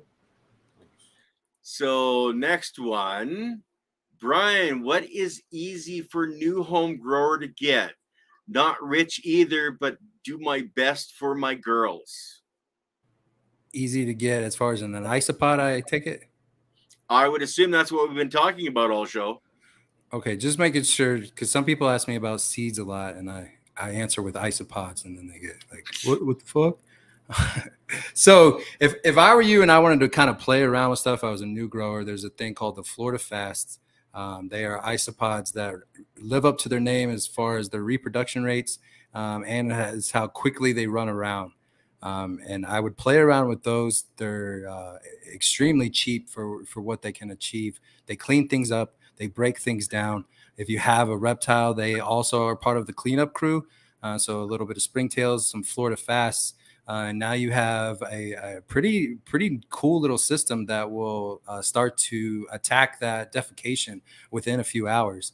And then as that system starts to build up, uh, when the animal defecates, it seems like the isopods uh, kind of just know that somehow, especially the dairy cows, and they will all emerge on that and break that down. Uh, a lot of people um, now, when they're breaking down, like they killed an animal. Um, again, the reptile world is a little, you know, there's all kinds. Uh, so people are now killing animals and then selling the skulls, um, deers and stuff that are overpopulated and stuff, and they're using dairy cows uh, to eat the flesh off of the bone. So there's people that are now even coming to me saying like, "Hey, I just created this business. I'm breaking down." So that might be something else for you guys. If you're really into hunting, the dairy cows supposedly will eat all of that flesh off of the bone so clean that you can then sell it. Uh, and supposedly this lady like carves it uh, and then sells it on Etsy. So again, there's money in anything. You just well, gotta be a hustler. Well, the, tell me if this counts. I got my tooth pulled a few months ago, and then I was like, man, this thing looks gross. But I wanted it cleaned up, so I stuck it down in my soil and let the um, springtails and everything. They cleaned every scrap of blood, and the tooth came out looking nice. So I get it. Wow, that's wild, dude. Yeah, it's wild, man. I don't know if I wanted that image in my head, Mark. Thank you. Thank you. hey, the soil will clean it. Think about it just like he said, and people, and you know, they've been doing that. They used to use these beetles, like um, uh, like carrion beetles, to also do that. But dairy cows must be really um, efficient at doing that if they're using them to clean that skull like that. Hmm, interesting. Uh, is old sourdough bread valuable for composting? Any special microbes or yeast in there that are good for soil? That would be a Marco question. Yeah, all that. You know, anything like yeasty. You know, think about when we make IMO threes. You're, you're growing yeast. You know, that's a big component of your soil. So yeah, if I was gonna um, had a sourdough cultures, I'd definitely throw that in my compost. Let the worms go go to town on it. Okay. Yeah. Not only will the worms go to town, but springtails. Uh, and if you don't have that stuff, you can buy nutritional yeast. Uh, just a little sprinkle here, a sprinkle there uh, away from the the water side of things. uh, and that is a fabulous uh, B vitamin complex as well as protein, um, and that that'll really help beef up the soil food web. The the worms seem to turn a little extra purple. Uh, the springtails are popping. The isopods just look bigger and colorful. Um, and, and, that's why we, we even joked and made the product that we sell called the you know a beast yeast feast uh, because it just beefs up things so uh, mm. that's another thing that i'm going to play around with rove beetles with is maybe uh, playing with yeasts uh, maybe i should play around with sourdough bread yeah yeah, well, sourdough is really healthy for us, just like anything that is fermented. The fermented foods are already broke down by the biology, which makes it more easily biodigested for our biology to use in our system. So the next question, uh, so guys, I've been putting like banana peels, all kinds of fruits, uh, that parts that can't eat in or uh, that you can't eat into a bucket, and putting the filtered water in and letting it sit three to seven days and feeding it to my plants, and I'm doing right by them by doing this. Yeah, that's a Jadam JLF.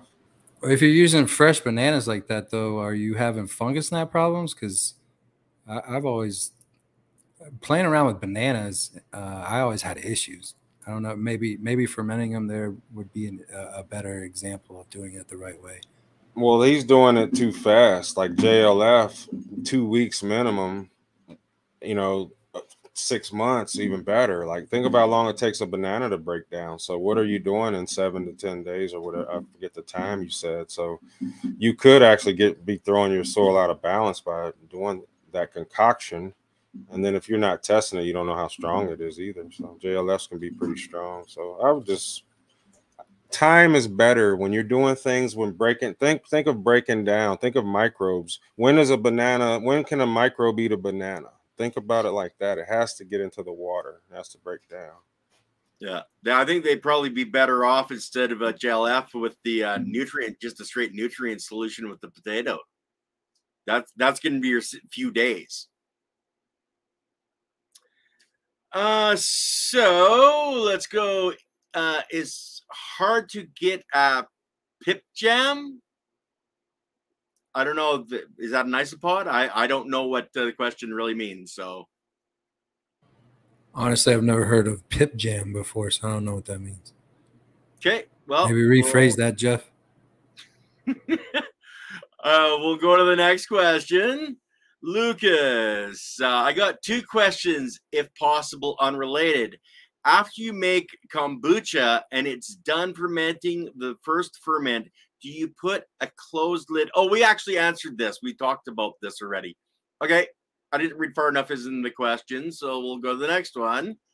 And oh, and that's uh, part of the same question. So we're going to Browns.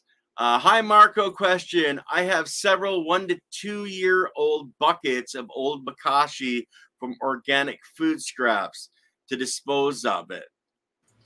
Dispose? Hmm. That's not a good word because that's what you got is gold in those buckets. You need to be um all right. So if you're gonna if you got a garden area, if you're not gardening, but you might have an area you want to garden, bury it out there. If you gotta get rid of it, if you gotta move it, if you have a compost, put it in that compost. You know, if you can just put it behind the back of the house and the behind the garage and forget about it, it still be gold for you whenever you can get to it. But don't dispose of it. Uh, you probably used the wrong word. I would think so. Uh, Squishy Mirror, any advice on getting rid of slugs? I'm using diatomaceous earth, but I don't want to harm my work, my works, and other biology. I will. I can chime in there real quick. My uh, bearded dragon eats all of those for me. Uh, I just put them in the bin real quick. Keep an eye on them. Uh, I never put them in the high end bins, but like a dairy cow bin, if there's something, uh, and he munches on them, hunts them down. Sometimes they're up on the wall. Uh, he runs over there and eats them. Um, and I think I think that's a, a solid investment when you start to play around with these things is to have some kind of reptile. Uh, from what I understand, like um, other reptiles will eat them as well, but my personal experience is from bearded dragons. That's a good one. Using Mark, bio- anything to? Yeah, using that biology to take care of biology. I like that. Um, I you know for slugs, the best way I've seen is um, I just try to um, capture them with beer. Obviously, people try that. The problem with slugs is they lay so many eggs. And I actually noticed slugs in one of my indoor beds. I had some small pots. I was just setting on top of the mulch, letting them veg. I picked them up, just looking on the bottom, and I saw some slugs under there. I'm like, oh, okay. They haven't messed with my plants, but I took those. Whenever I see them, I throw them outside. Like I just get them out of there. But I've heard people say copper is good. Um, you can buy like those copper Brillo pads. And the, what I've heard people say is you can take them and kind of tear them open wrap them around the base of the stem of the plant. And as long as you don't have leaves which are drooping down and touching the soil, the idea is that you shouldn't have slugs that get on your plants anymore. Um, I haven't had to try it because I haven't had the issue, but I've got the Brillo pad. So maybe if somebody in the chat knows or Bryan or heard something. Uh, I believe that's even an old school thing off of Overgrow. So that's a OG bar right there for sure. Yeah, I've had a Brillo pad forever. Yeah, yeah, I hadn't heard that one yet. So yeah, that's that's an old. uh It's not bro science; it's actual science. Yeah, that's actually. I would say bro science, but it's not. I haven't heard anybody in the like coat world say it like that, but I've seen a lot of people like Marco saying uh, that are in the trenches and the, their experience. Um, uh, same thing with CDs when you're trying to keep birds away. People mm-hmm. say that shit doesn't work, but if you talk to people that have done it, they say that shit works fabulous. Yeah, it's one of those yeah, things. Yeah. And see, they've I've also because one thing, one property of copper is, um, you know, they used to make all door handles out of copper because copper has antimicrobial properties. So one thing about it, they say the slugs do not want to, you know, run their foot over that for that reason. So that makes well, Green sense. Table is saying they can buy actual copper tape now and wrap it around the stem base. Okay, so they've done. They've taken that what used to be. Well, there, like now bro, you know it's not bro science. Boom, company, they ran with and it works. Yep. There you go. Yep, yep. Okay, well, we'll head to the next question. And Another one for you, Marco. Mm-hmm. I'm finding black soldier fly worms in my red wiggler bin. Should I be concerned about that? I wouldn't be, but you know what it tells me? It tells me, well, you got it outdoors, which is fine, but it tells me that you probably were overfeeding that a little bit. See, them the black soldier fly will come in, which is I like black soldier fly, but if you overfeed, you'll turn that whole thing into a black soldier fly bin. You could, you know. So back off the food, let that all sort itself out. Those adults will fly off. It'll be all good, and maybe it'll get back into balance. Is what I would do. And what am I smoking? Just a cigarette, man. Yeah, sorry, oh, nothing special. I don't, well send me some CBD and then I'll be smoking the CBD. You know, hey, uh, that'd be better for me anyway. Hey, let's reach out to Dreaming Farms. That dude's got some fire ass CBD. Boom. There My we go. smoking on that, and I was like, "Did you?" Okay, Chad. Chad, copper has to be thick, or they will arch over it. Aha, I mm-hmm. like that, Chad. They are ass. Okay. All right, good stuff. Well, we know copper is good for our system. Like you, they got all these products that you put on for you know pain when using the copper. It's got to be part of the electrical field, I would think myself. Why is Chad not on here in the fourth box? Should I send him a link? But uh, he would come on. He hasn't fixed his hair yet. That's hey, since late. you brought that up, Mr. Chad, will, will you please respond to us in the text message? Parker and I were trying to reach out to you. We'll make an appointment.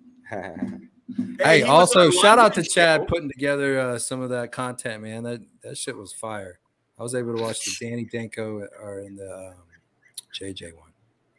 I, I, need to be hung. Yes, yes, yes, yes. Okay, man, okay. I know, man. Peter's not gonna like this. and, and, Chad, he was on uh, London show yesterday, so why wouldn't uh, you know? He should be on your guys' damn rights, you know. That's why we're bringing it up, Ken. Our feelings are hurt. Good, good, good. Nice. Okay, uh, Operation Annihilation. Are they transplant or are they those spots I'm seeing? Um, the transparency say, of the isopod. It's transparent, the see-through. Okay, transparent. My mistake. Uh, yeah, some of them can even uh, they look really cool under a black light. Uh, but again, it's going to depend on the species. Uh, we have a poster that we sell that has over a hundred different isopods that are considered designer. Uh, and like I said, this is just starting. So uh, there's so many different isopods that I don't think we really understand all of what might even exist. And this might be something where we go into the caves.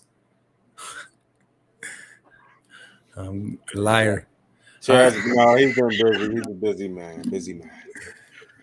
We've We're all got it recorded now, Chad. You got to get back to them now. No, we miss you, buddy. Glad you're uh, doing stuff, and uh, it's really cool to see, you, man. I love, I love when like all this other stuff's going on on the channel because it's just then it's a, like a real community, you know. There's Yeah. so much shit going on. So isopods, if they're carnivorous, does that mean they poop out? Uh, I'm not even gonna try to pronounce that. That's awesome. Chitinase. So, chitinase. Okay. Uh, I wouldn't. I use insect frass as the chitinase, and I use black soldier fly larvae as that insect frass. Uh, when they poop it out, like when you saw, it's kind of that rectangular thing. Um, and I don't necessarily know if that has a ton of chitin in it. What it does seem to have is um, what is needed to get the babies to grow. So I would imagine it's diverse uh, in the poop. Um, that might be something that we need to talk to like a bug expert on is what's really going on there. But that's also from my understanding, same way with the red wigglers, that the the isopods are improving stuff. You know, most people when they defecate, you know, it's disgusting. That stuff is being removed. Where when a red wiggler or an I, I, I believe certain isopods, when they defecate, it's actually benefiting everything involved. Uh, you know, when the everything's going through, it's it's cleaning up that process. Um, so that's something cool that I hope to be able to go down a rabbit hole on somebody that knows way more about that stuff than me because some of those things in the reptile world also seem to be maybe potentially bro science. So got to wade through that that aspect now too. But um, yeah, when they're defecating and they're defecating at that level where you can see it, that is a thriving community, and you should pat yourself on the back. Okay. So in in my case, Bryan, I'll just kick you in the butt from over here instead of patting you on the back. I'll kick you in the butt. All right. Uh, Okay. So what's the cost for those dairy cows you're selling? Hit the website. Yeah, or if you hit me at the expo, uh, it's a lot cheaper at the expos, and it uh, comes on my soil system. So it's um, we're not allowed to ship the soil, but uh, if you're at an expo, I got it on that soil system. We sell a hundred for forty dollars, fifty for thirty. There you go. Aren't they one of the oldest organisms on our planet? From what I understand, yes. Some of them that were even found deep in the ocean. I've been to a place that you could see the individuals across the restaurant had ordered one of these as like a delicacy, um, and they were maybe six or eight deep. And this thing was huge. And from what I understand, in the restaurant that we were at, that must have cost an, a, an crazy amount of money. But it was the experience of eating something like that. The way they described it to me uh, was eating it, you know, in the high end restaurants when they bring the fish out and the eyes are there and the head and everything. Um, that's the delicacy of it. But I don't know. They man. ate the last one. You ever seen that, Marco, where you go to a super high end restaurant and a hundred dollar fish and it's got the head on Man, it? I, I bought a three hundred dollar lobster before by accident Hundred dollar fish. on my, mama's birthday. So yeah, let's get a, get one of them lobsters for the table too. It's all good, but then they brought the bill out. I was like, oh no. Okay, who died for that lobster? You know, 'Cause that's a heavy one. So the the big ones in the ocean, uh, from what I understand, they were around like in the dinosaur days. oh yeah, they're old, man. They're old. Yeah. Okay. That's- you're eating a dinosaur in Vegas. Let me try it. So Alton wants to know: Are you tilling for an initial setup for a garden? So, Marco, I was think more you. No, I don't. I um I start putting down organic material like leaves, and then I go to cardboard. I go right on top of the soil, and then I start Yeah. building the soil from there. Some people do that initial till, but you know, think about it. You can till. When I, man, when I was a kid, I used to till. Like I had neighbors, I'd till for them. Three hours of tilling, till, till, till, till. And then within like a, a week, the plate the thing was full of weeds. You know what I mean? So it's like, why did y'all really pay me to do all that tilling for you? You know, and you I, killed I, the stability. Yeah, you know, we know now not to till. Obviously, I was a kid then, but you know, it looked that good black, rich soil for about two weeks until soil it rains. Food, yeah, soil food web's gone. When it rains, nothing but rocks. And right. so, no, I don't like to till. I leave what's already there in place and start building on top. Yeah, absolutely. And building your uh, your soil system from the top down uh, seems to make a lot of sense. Uh, being proactive and stuff. Uh, mm-hmm. so, well, if you're not disturbing the soil system because that's their universe, and you're building the soil system on top, they're just going to move up into it. You disturb mm-hmm. them, you're killing a whole bunch of them. They got to start all over. So, yeah, it, the least amount of tillage, the better, in, in my opinion. So, boom. Yeah, you're the manager of the system. Yeah, they yeah. they shouldn't depend on you whatsoever.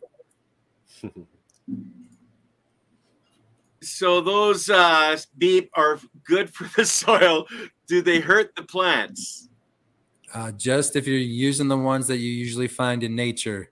Uh, so you so start to study isopods where they're captive bred, uh, meaning somebody with uh, some knowledge bred them for you, um, so that you use the correct isopod for whatever you're trying to achieve.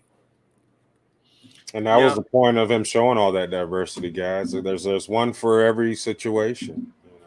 But if you notice, there are little like some had a lot of bark, some had a lot of leaves, um, and so that's also what uh, takes time and experience. And I wouldn't say that I necessarily could say like this is this for sure, or this is this for sure. It's just when I start to see them breed, and that is the hardest thing to do, um, is to look for a year in a in a little bin and never see a baby. Wow. Yeah. yeah, we think the cannabis plant takes a long time. Yeah, man. but see, that's a long game. You're doing, you're living life. You know, that's going on over there. Mm-hmm. They're they're trying to breed, but you're checking them every day. But you're living life, making other moves. Yeah. It's not like you guys don't be frozen there, guys. You know what I mean? Go on about your business. Let the isopods do their thing. You know. Yeah you uh, were talking about avocados earlier, and you had switched to uh, um, the not pecan seed, not um, pistachio seeds. Pistachio shells. Shells. really, yeah. Yeah. Uh, so with the avocados, um, you usually want the ones that are protein, fat hungry. So again, that's where the dairy cows come in. Uh, the springtails are going to love that. The um, um, what is that? The it's not orb. I always say orbital, dude, but it's oh, not. The, uh, well, you got the orbited mites, and then orbited. Have, yeah, I always say the wrong shit, man, because that's how I learned it. But yeah, yeah. So that little orange mite, I I don't know what really is going on there, other than it seems to to indicate to me that things are popping off. And once I started to, I mean, you don't want those to really because they can kind of over overpopulate. So I would just move them same way with the springtails. Uh, but once those things start to take off, I add a little bit more decaying wood. Things kind of progress, maybe weeks, maybe months. That's when I actually start to see fungal bodies. Uh, so I don't know if that might has anything to do with that whatsoever. But through all my little utopias that I'm that I got, it does seem like when those appear, probably from diversity and compost, uh, now I'm starting to actually see a lot more fungal aspects build.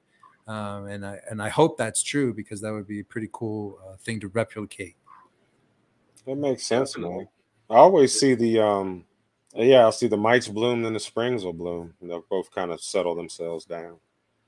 Maybe it's the predator prey model. You can't have much of the one without the other. Yeah. So, uh, Alton, I have a bunch of aquariums. What can I do with them? Repurpose. Oh, you could build a soil system in them, the terrarium, vivarium. Um, you can breed isopods, springtails, jumping spiders. Uh, a lot of those things are pretty easy to do, especially um, if you really dial in the jumping spiders. I, I, guess there's a bit of a learning curve, but um, from what I understand, that's uh, relatively easy to do if you put some time and effort into it. Um, so there's a lot of things out there that um, if you understand that soil system, you can build in those uh, aquariums sitting in your garage or basement. Oh, you're muted, Marco. Mm. And don't forget, you can set one back up to um, get your aquatic microorganisms. You know, set the fish up, back, you know, if you really want to. Yeah, yeah. So, um, the isopods that you sell are those actually they're, they're found in the wild, but uh, they're bred in captivity for what you're doing. But are they generally like? Would I find them in my environment up here? I think. Uh, you would find certain species like uh, the rubber duckies are only going to be, or to my knowledge, the rubber duckies, the white duckies, those are only going to be found in the caves of Thailand. And that's what, again, is kind of exciting about this is all, obviously all of those caves haven't been searched. So who knows what the hell's in there? Uh, that's kind of the, the fun part of it. Um, but the Cubaris species as a whole is um, something that I think uh, more individuals would have fun um, farming cannabis with. I, th- I, think they're just pretty unique looking. It's like when you fall in love with a praying mantis and you play around with that. This is just yeah. something else that I think you can add to it. Um, and some of these uh, live for like two years, three years. Um, and you know, other uh, isopod breeders have proven that by isolating one and keeping it for you know a long time. So that part I think is pretty cool too. Some of them are pretty intelligent. Uh, others seem like they're more like cows, like they just, you know, they're, they're, cows are pretty stupid, yeah. Praying mantis like will eat them bad boys, though. Imagine that you're praying mantis and they're eating your um to a point. Duckies. Yeah, but if they get like the dairy cows get big enough where I've seen they're they're almost too heavy for the praying mantis unless okay. it's a full adult. Uh, but yeah, if they're babies, mm-hmm. but again, at the same time, man, I would rather have the praying mantis eating the isopod because the isopod's reproducing, or at least the dairy cow species, is reproducing at such a high level that it can be a food source. Mm-hmm. And that's mm-hmm. why we sell it as a food source that's also eating the defecation and the animals shedding. Because I didn't realize when you breed snakes how much they shed and how often you have to clean that if you like own like a pet store or something. Uh, where mm-hmm. these guys will just eat it in like a couple hours. So boom, you don't got to pay your labor you don't have to pay your uh, you know your your sales team uh, to do that. That's definitely a gold nugget, man. Nice. I, I would have never thought of that. You know, for for a snake breeder to get isopods just to eat that. Especially the dairy cow. That's the one, and that's what I mean. There's certain species out there uh, that we can guide you in uh, if you have some kind of specific thing that you're trying to do. Uh, but most people come to us either for the designer aspect, you know, they want something bougie that no one else has, or uh, they're coming to us for the feeders because they're so much bigger and their stock can start off to where now they can feed a variety of reptiles uh, from that one main bin. Okay, okay. So, um, what do you guys think? Do you all think there's money in selling um, fermented fish amino acids? Because it does That's take Marco right there, bro takes a year. Well, it takes a year. All right. So start today. And then in one year, yes, you damn sure can. Thing is, the thing with FAA though is um you got to do it correctly. You know what I mean? Shipping can screw you on that because you know that F, that's a liquid. That liquids can be tough. FAA, if you don't do it right, it's still active. It'll blow your bottles. You know what I mean? So take your time, make your FAA, bottle it up, set it on your shelf, make sure it stores, ride it around in your truck, just like the post office would do. Leave it in there for a couple days and test your stuff, you know. But yeah, there's money to be made. But then once again, like we say, like I say, if you're doing it for the dollars, then you got the wrong intention going in. It's kind of how I look at it. You know what I mean? You, you're going to do better off by saying, how do I make great FAA? You know, if, if that was your question, then I, then you're on the right track, in my opinion. Yeah, if you're already making it, you know what the hell you're doing. All you want to do is make a lot bigger batch, and then you do have some for sale. I think is probably more what the point was. Yeah, yeah, you can do that, but my point is make the shit correct, and do, yeah, you know, they'll just put it out there because some people cheat on the time on that too. Because like, damn, oh, another year passed already, huh? Okay. That's time to bottle out. Yeah, it's ready. Yeah, yeah yeah, I always wondered that, Marco. That's a good point, brother. Yeah, or the, or the breeders that come out with 30 different uh, genetics, you know, every right. few months was like, damn. Damn. That's a lot of work, bro. Right. That's a lot of work. so um is the amount of humus created one rolly a day? or how much amount of humus to create one rollie a day? I don't really understand that question. How much Uh, poop? How much does one? How much does one eat and poop a day? I think is what he's saying. One isopod. Like is there? That like, varies with it, with every species. Okay. Um, to get the amount of poop where you can kind of see it with the naked eye, um, that takes a lot of roly polies. Um, and imagine and remember everything's like breaking that stuff down. Um, but from what I what I have found is they kind of hide in the bark and then they love to eat the protein and the calcium. So if you add that in addition to you know strategic um, leaf litter that's decayed, strategic wood that's already been decayed, like if you just added a bunch of new wood, a bunch of leaves that you just got, um, I think people also find um, issues and, and some probably have colonies collapse because everything's too new. So it's just like they're all just running around. People have lives. If you're not doing this for a business, um, you know that's where most individuals fail is the is the water aspect. Uh, they just forget two weeks, go back to the isopod, especially if it's the cubaris, um, and they're going to be dead. I mean that's almost guaranteed, unless you have a soil system and that kind of thing. But if you're if you're doing it, if you're breeding or trying to breed cubaris with most of the information on the internet, um, and you're not staying laser focused, uh, especially the first few weeks into it, uh, they're going to die. And that's why most people go out of their way to be excited when they see them, is because most people um, just don't have success with them. almost like a seedling, you know. Yep. Yeah. It's the Dr. Grin spoon, dude. It's worth a shit ton of money, but like only one dude's got it. You know? Right. We we we tried it though. So Jake, Jake, Jacob, I am really curious why uh, why web spinners are not more widespread uh, used because they really contribute to the soil food web and add a layer of protein or protection. They create a layer of silk, and then I feel like that is so. I have, oh my goodness, I'm having trouble reading today. I Uh, read so- this earlier.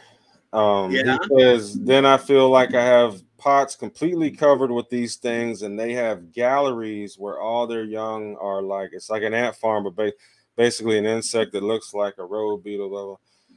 Jeez. Um. So are you I, spiders? I there are soil spiders, and I see the little tiny ones that are a little, little bit bigger than mites running around there with the um, rove beetles as well. But I ne- never webbing like that. That webbing that you see on a lot of our stuff is like the mycelium we're going for from the fungi. I think more individuals are using jumping spiders because they want to move away from the webbing. They want something that's more of a hunter, like a praying mantis, that's going to stick more into the ground.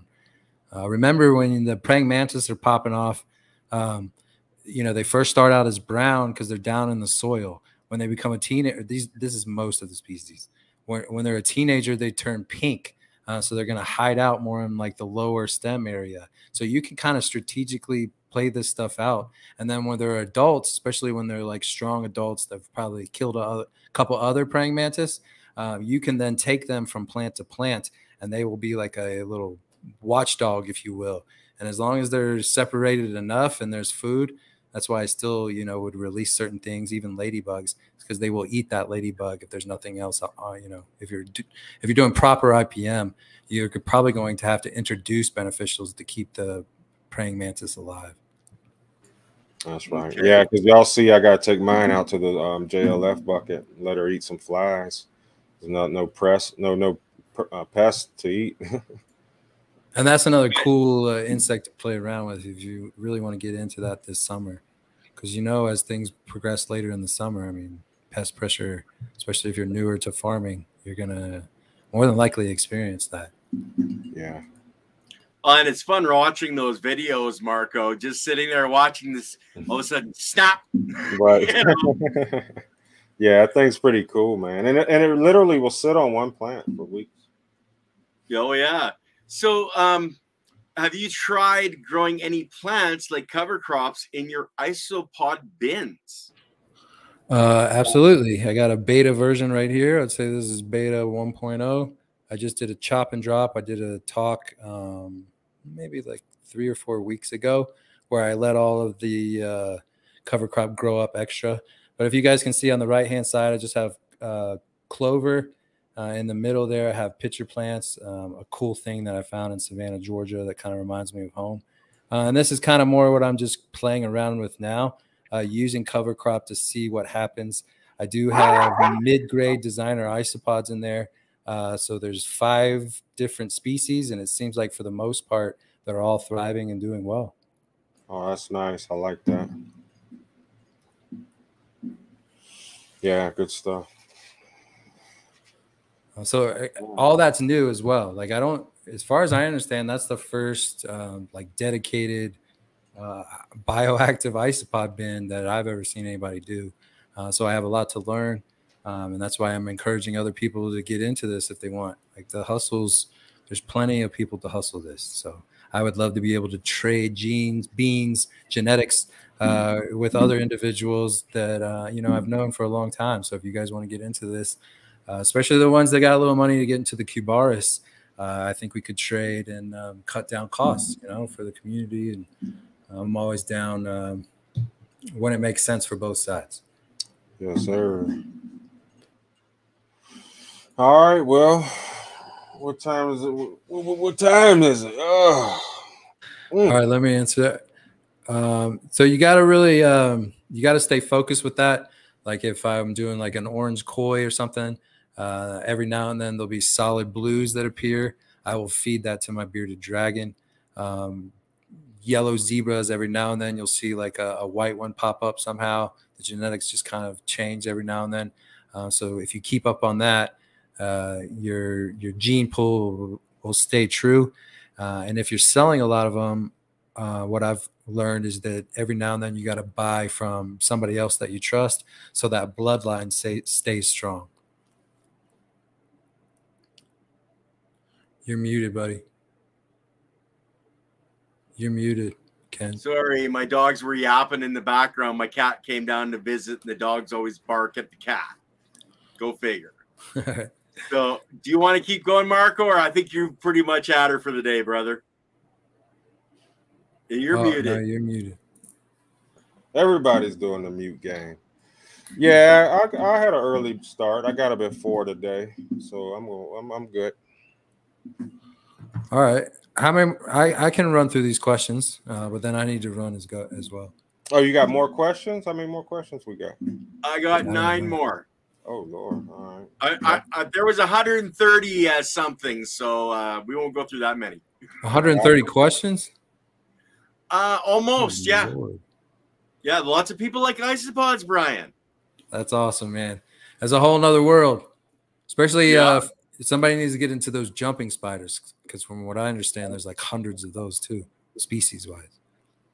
Cool, cool. Uh, so- Scabers are good, um, and they're quick breeding. So again, just kind of stay on them. But uh, I love using that, um, taking care of my uh, bearded dragons tank. I probably have 15 different species in that one just to play around with.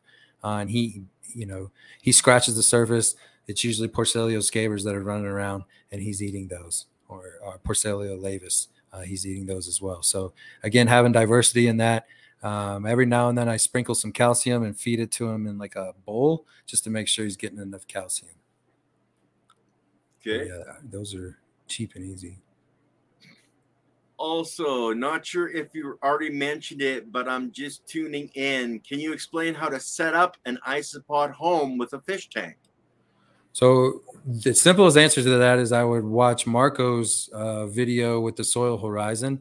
Uh, if I hadn't already set up my fish tanks, I think I would use that system. I have lava rock on the bottom. I have cardboard. I have sand, but I don't think I had this, the right amounts uh, for what I really needed because most of that seemed to already disappear uh, from the bottom end of it. So I would watch Marco's video.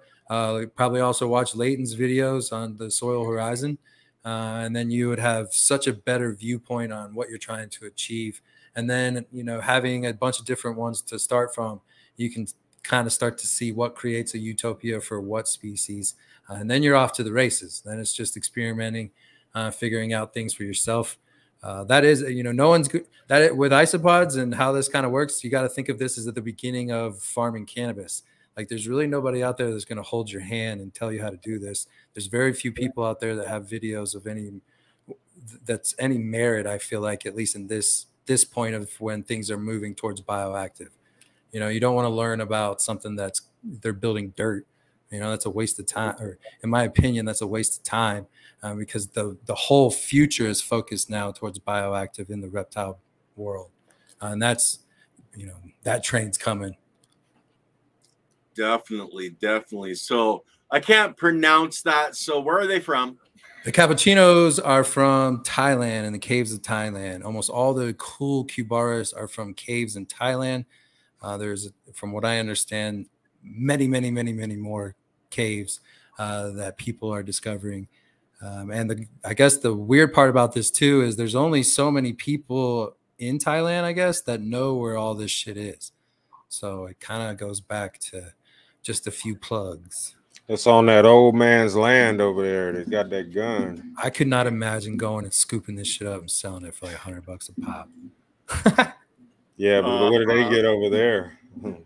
Uh, yeah. I mean, it depends. Uh, I mean, it's not like they don't know the market. Mm. You know, they got the they're, they're, more willing to do wholesale, but that's not. Um, there's a lot of risk with that. So you know, yeah, a lot. A lot of them die on an international ship. That's why we can't even ship internationally. It's just because the success rate goes down from like 9.5 out of 10 to like five out of 10 just because of the customs and all that. And then when it's, it's still considered a live animal, so it has to go through like an extra process. So by mm-hmm. then, most of them are dead, and they're all jumbled around and stuff. Um, I've, I think I started the beginning of the show talking about that. The guy did it right in front of me. So if he's doing it right in front of me, I can only imagine in the back end how those guys are. Yeah, they don't care. so uh, you already uh, on some instances uh, answered part of the question of how long do isopods live, uh, but do they crossbreed? Yes, some of them can. Um, some of them have found success with that, uh, like uh, taking a Dalmatian to an orange Dalmatian. Um, but then, like the dairy cows won't breed with the orange Porcellio laevis to get like an orange dairy cow. So again, there's not really a ton of information or concrete stuff uh, where I can give definitive answers other than yes, that is possible. There are a few species that do it, but it does seem like like I can't put a Cubaris like a rubber ducky with uh, Pak Chung and create this like super pink faced rubber ducky, uh, even though I guess uh, several people have tried it. Um, so there's a lot of experimentation that still needs to be out there, especially for individuals that understand breeding more of maybe like from like a dog level or something where you really understand genetics. Um, that might be somebody where you could ask questions um, for you know for the bugs. Okay so um are isopods and cockroaches related uh, i'm not 100% on this but i don't i don't know i guess because from what i understand the isopod is a crustacean where the cockroach is more of just like a land bug i don't think cockroaches came from the sea um, okay. Yeah, I have I have no idea on that one. Uh, so how uh, compatible are different isopod species? Do they ever attack each other? Uh, so they're very compatible. Like I said, I got this uh, I got this tank here with five different uh, designer isopods, um, and they're all living in a symbiotic relationship with one another. If I put the dairy cow in with the higher end designer ones, I do think that they would bully them. I do think that they would take food away from them. Um, so that's why I would never add that species with it. So again, these are you got to really understand what species you're playing with. Otherwise, I could see that happening. Like if I put dairy cows with rubber duckies, I think my rubber duckies colonies would crash. Okay. Well, that's good to know for anybody that's really looking at getting going. They better have that basic understanding of what they can put with each other. Yeah, you want to play around with the cheap ones first, um, and unless you're just crazy, I guess, and start shipping them. Uh, you might have you might find success with that, but uh, yeah, it's there's a bit of a learning curve when you go from the basics to the Cubaris. Yeah, yeah. So, could you use isopods to break down cat and or dog poop? From what I understand, most uh, like manure, uh, but I think that it has to decay a little bit more. So you would have you would want to use springtails with that. If I just have isopods in my bearded dragon bin, I noticed that it took days, sometimes uh, multiple, like almost close to a week, uh, for the isopods to break that down. Where if the springtails are there, uh, and more, more, of just the microbial life from just adding the compost every every few weeks, um, then the process is broken down within you know a day or two at, at most. Um, so I, again, I think the alive and thriving utopia is where you want to set your goals, and once you're there, that's where you're not going to probably even see the animals defecation. Uh, you definitely um, the smell is is minimized drastically. And we have one last question out to Marco. Are you going to Pop Off Fest? Yeah, yeah. That's awesome, dude. That's a great question. Yeah, I'm going. Are you? I'd imagine if he's asking that, he's like, yeah, Marco's going, I'm going. Re- reach out to me because I don't. Y- y'all might recognize me. I don't know everybody, so grab me and say what up. But don't. Hey, I flew me. out to hang out with Marco, and I ended up laying in the grass uh, during a concert. So, you know, and yeah. I feel like a, a pretty heavy smoker. So, uh, I gotta throw this one in because I switched back to live comments. Uh, what do you mean by designer? Uh, so that's the term that people have called isopods that cost a hundred dollars or more. Um, they don't necessarily have the same purpose of like, you know, 50 rubber duckies more than likely aren't even going to touch uh, the manure.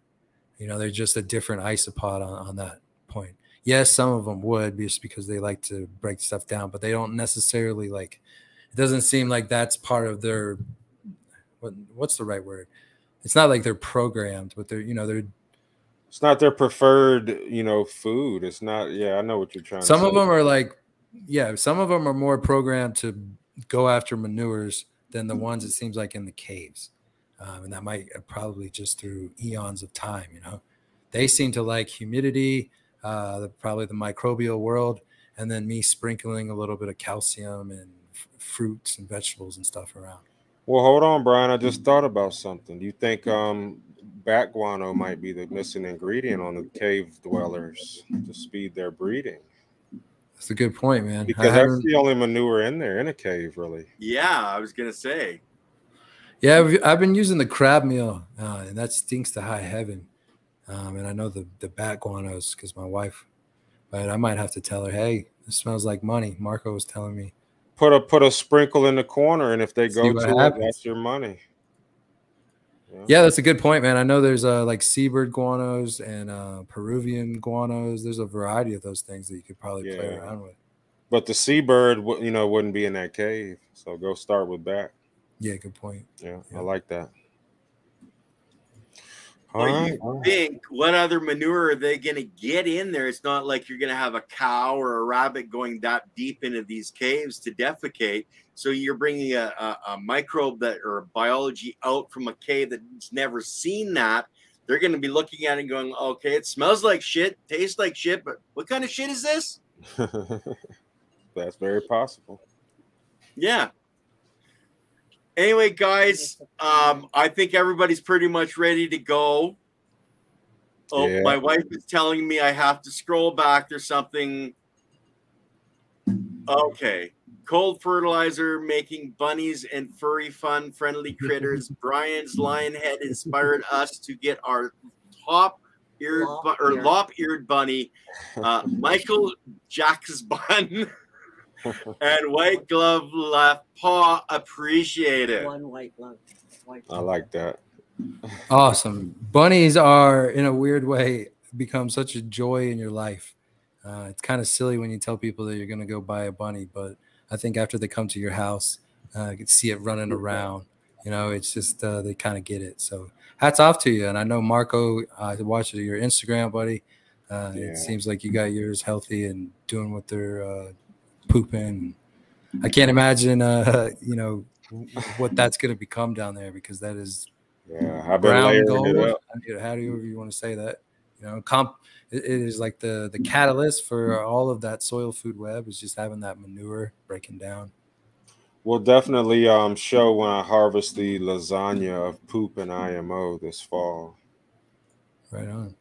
Oh, right on. Yeah, that'll Appreciate be one to look forward to. All right, y'all. Yeah, I'm glad you guys are interested. Uh, you know, sometimes when you geek out with stuff, you don't think that people would even care.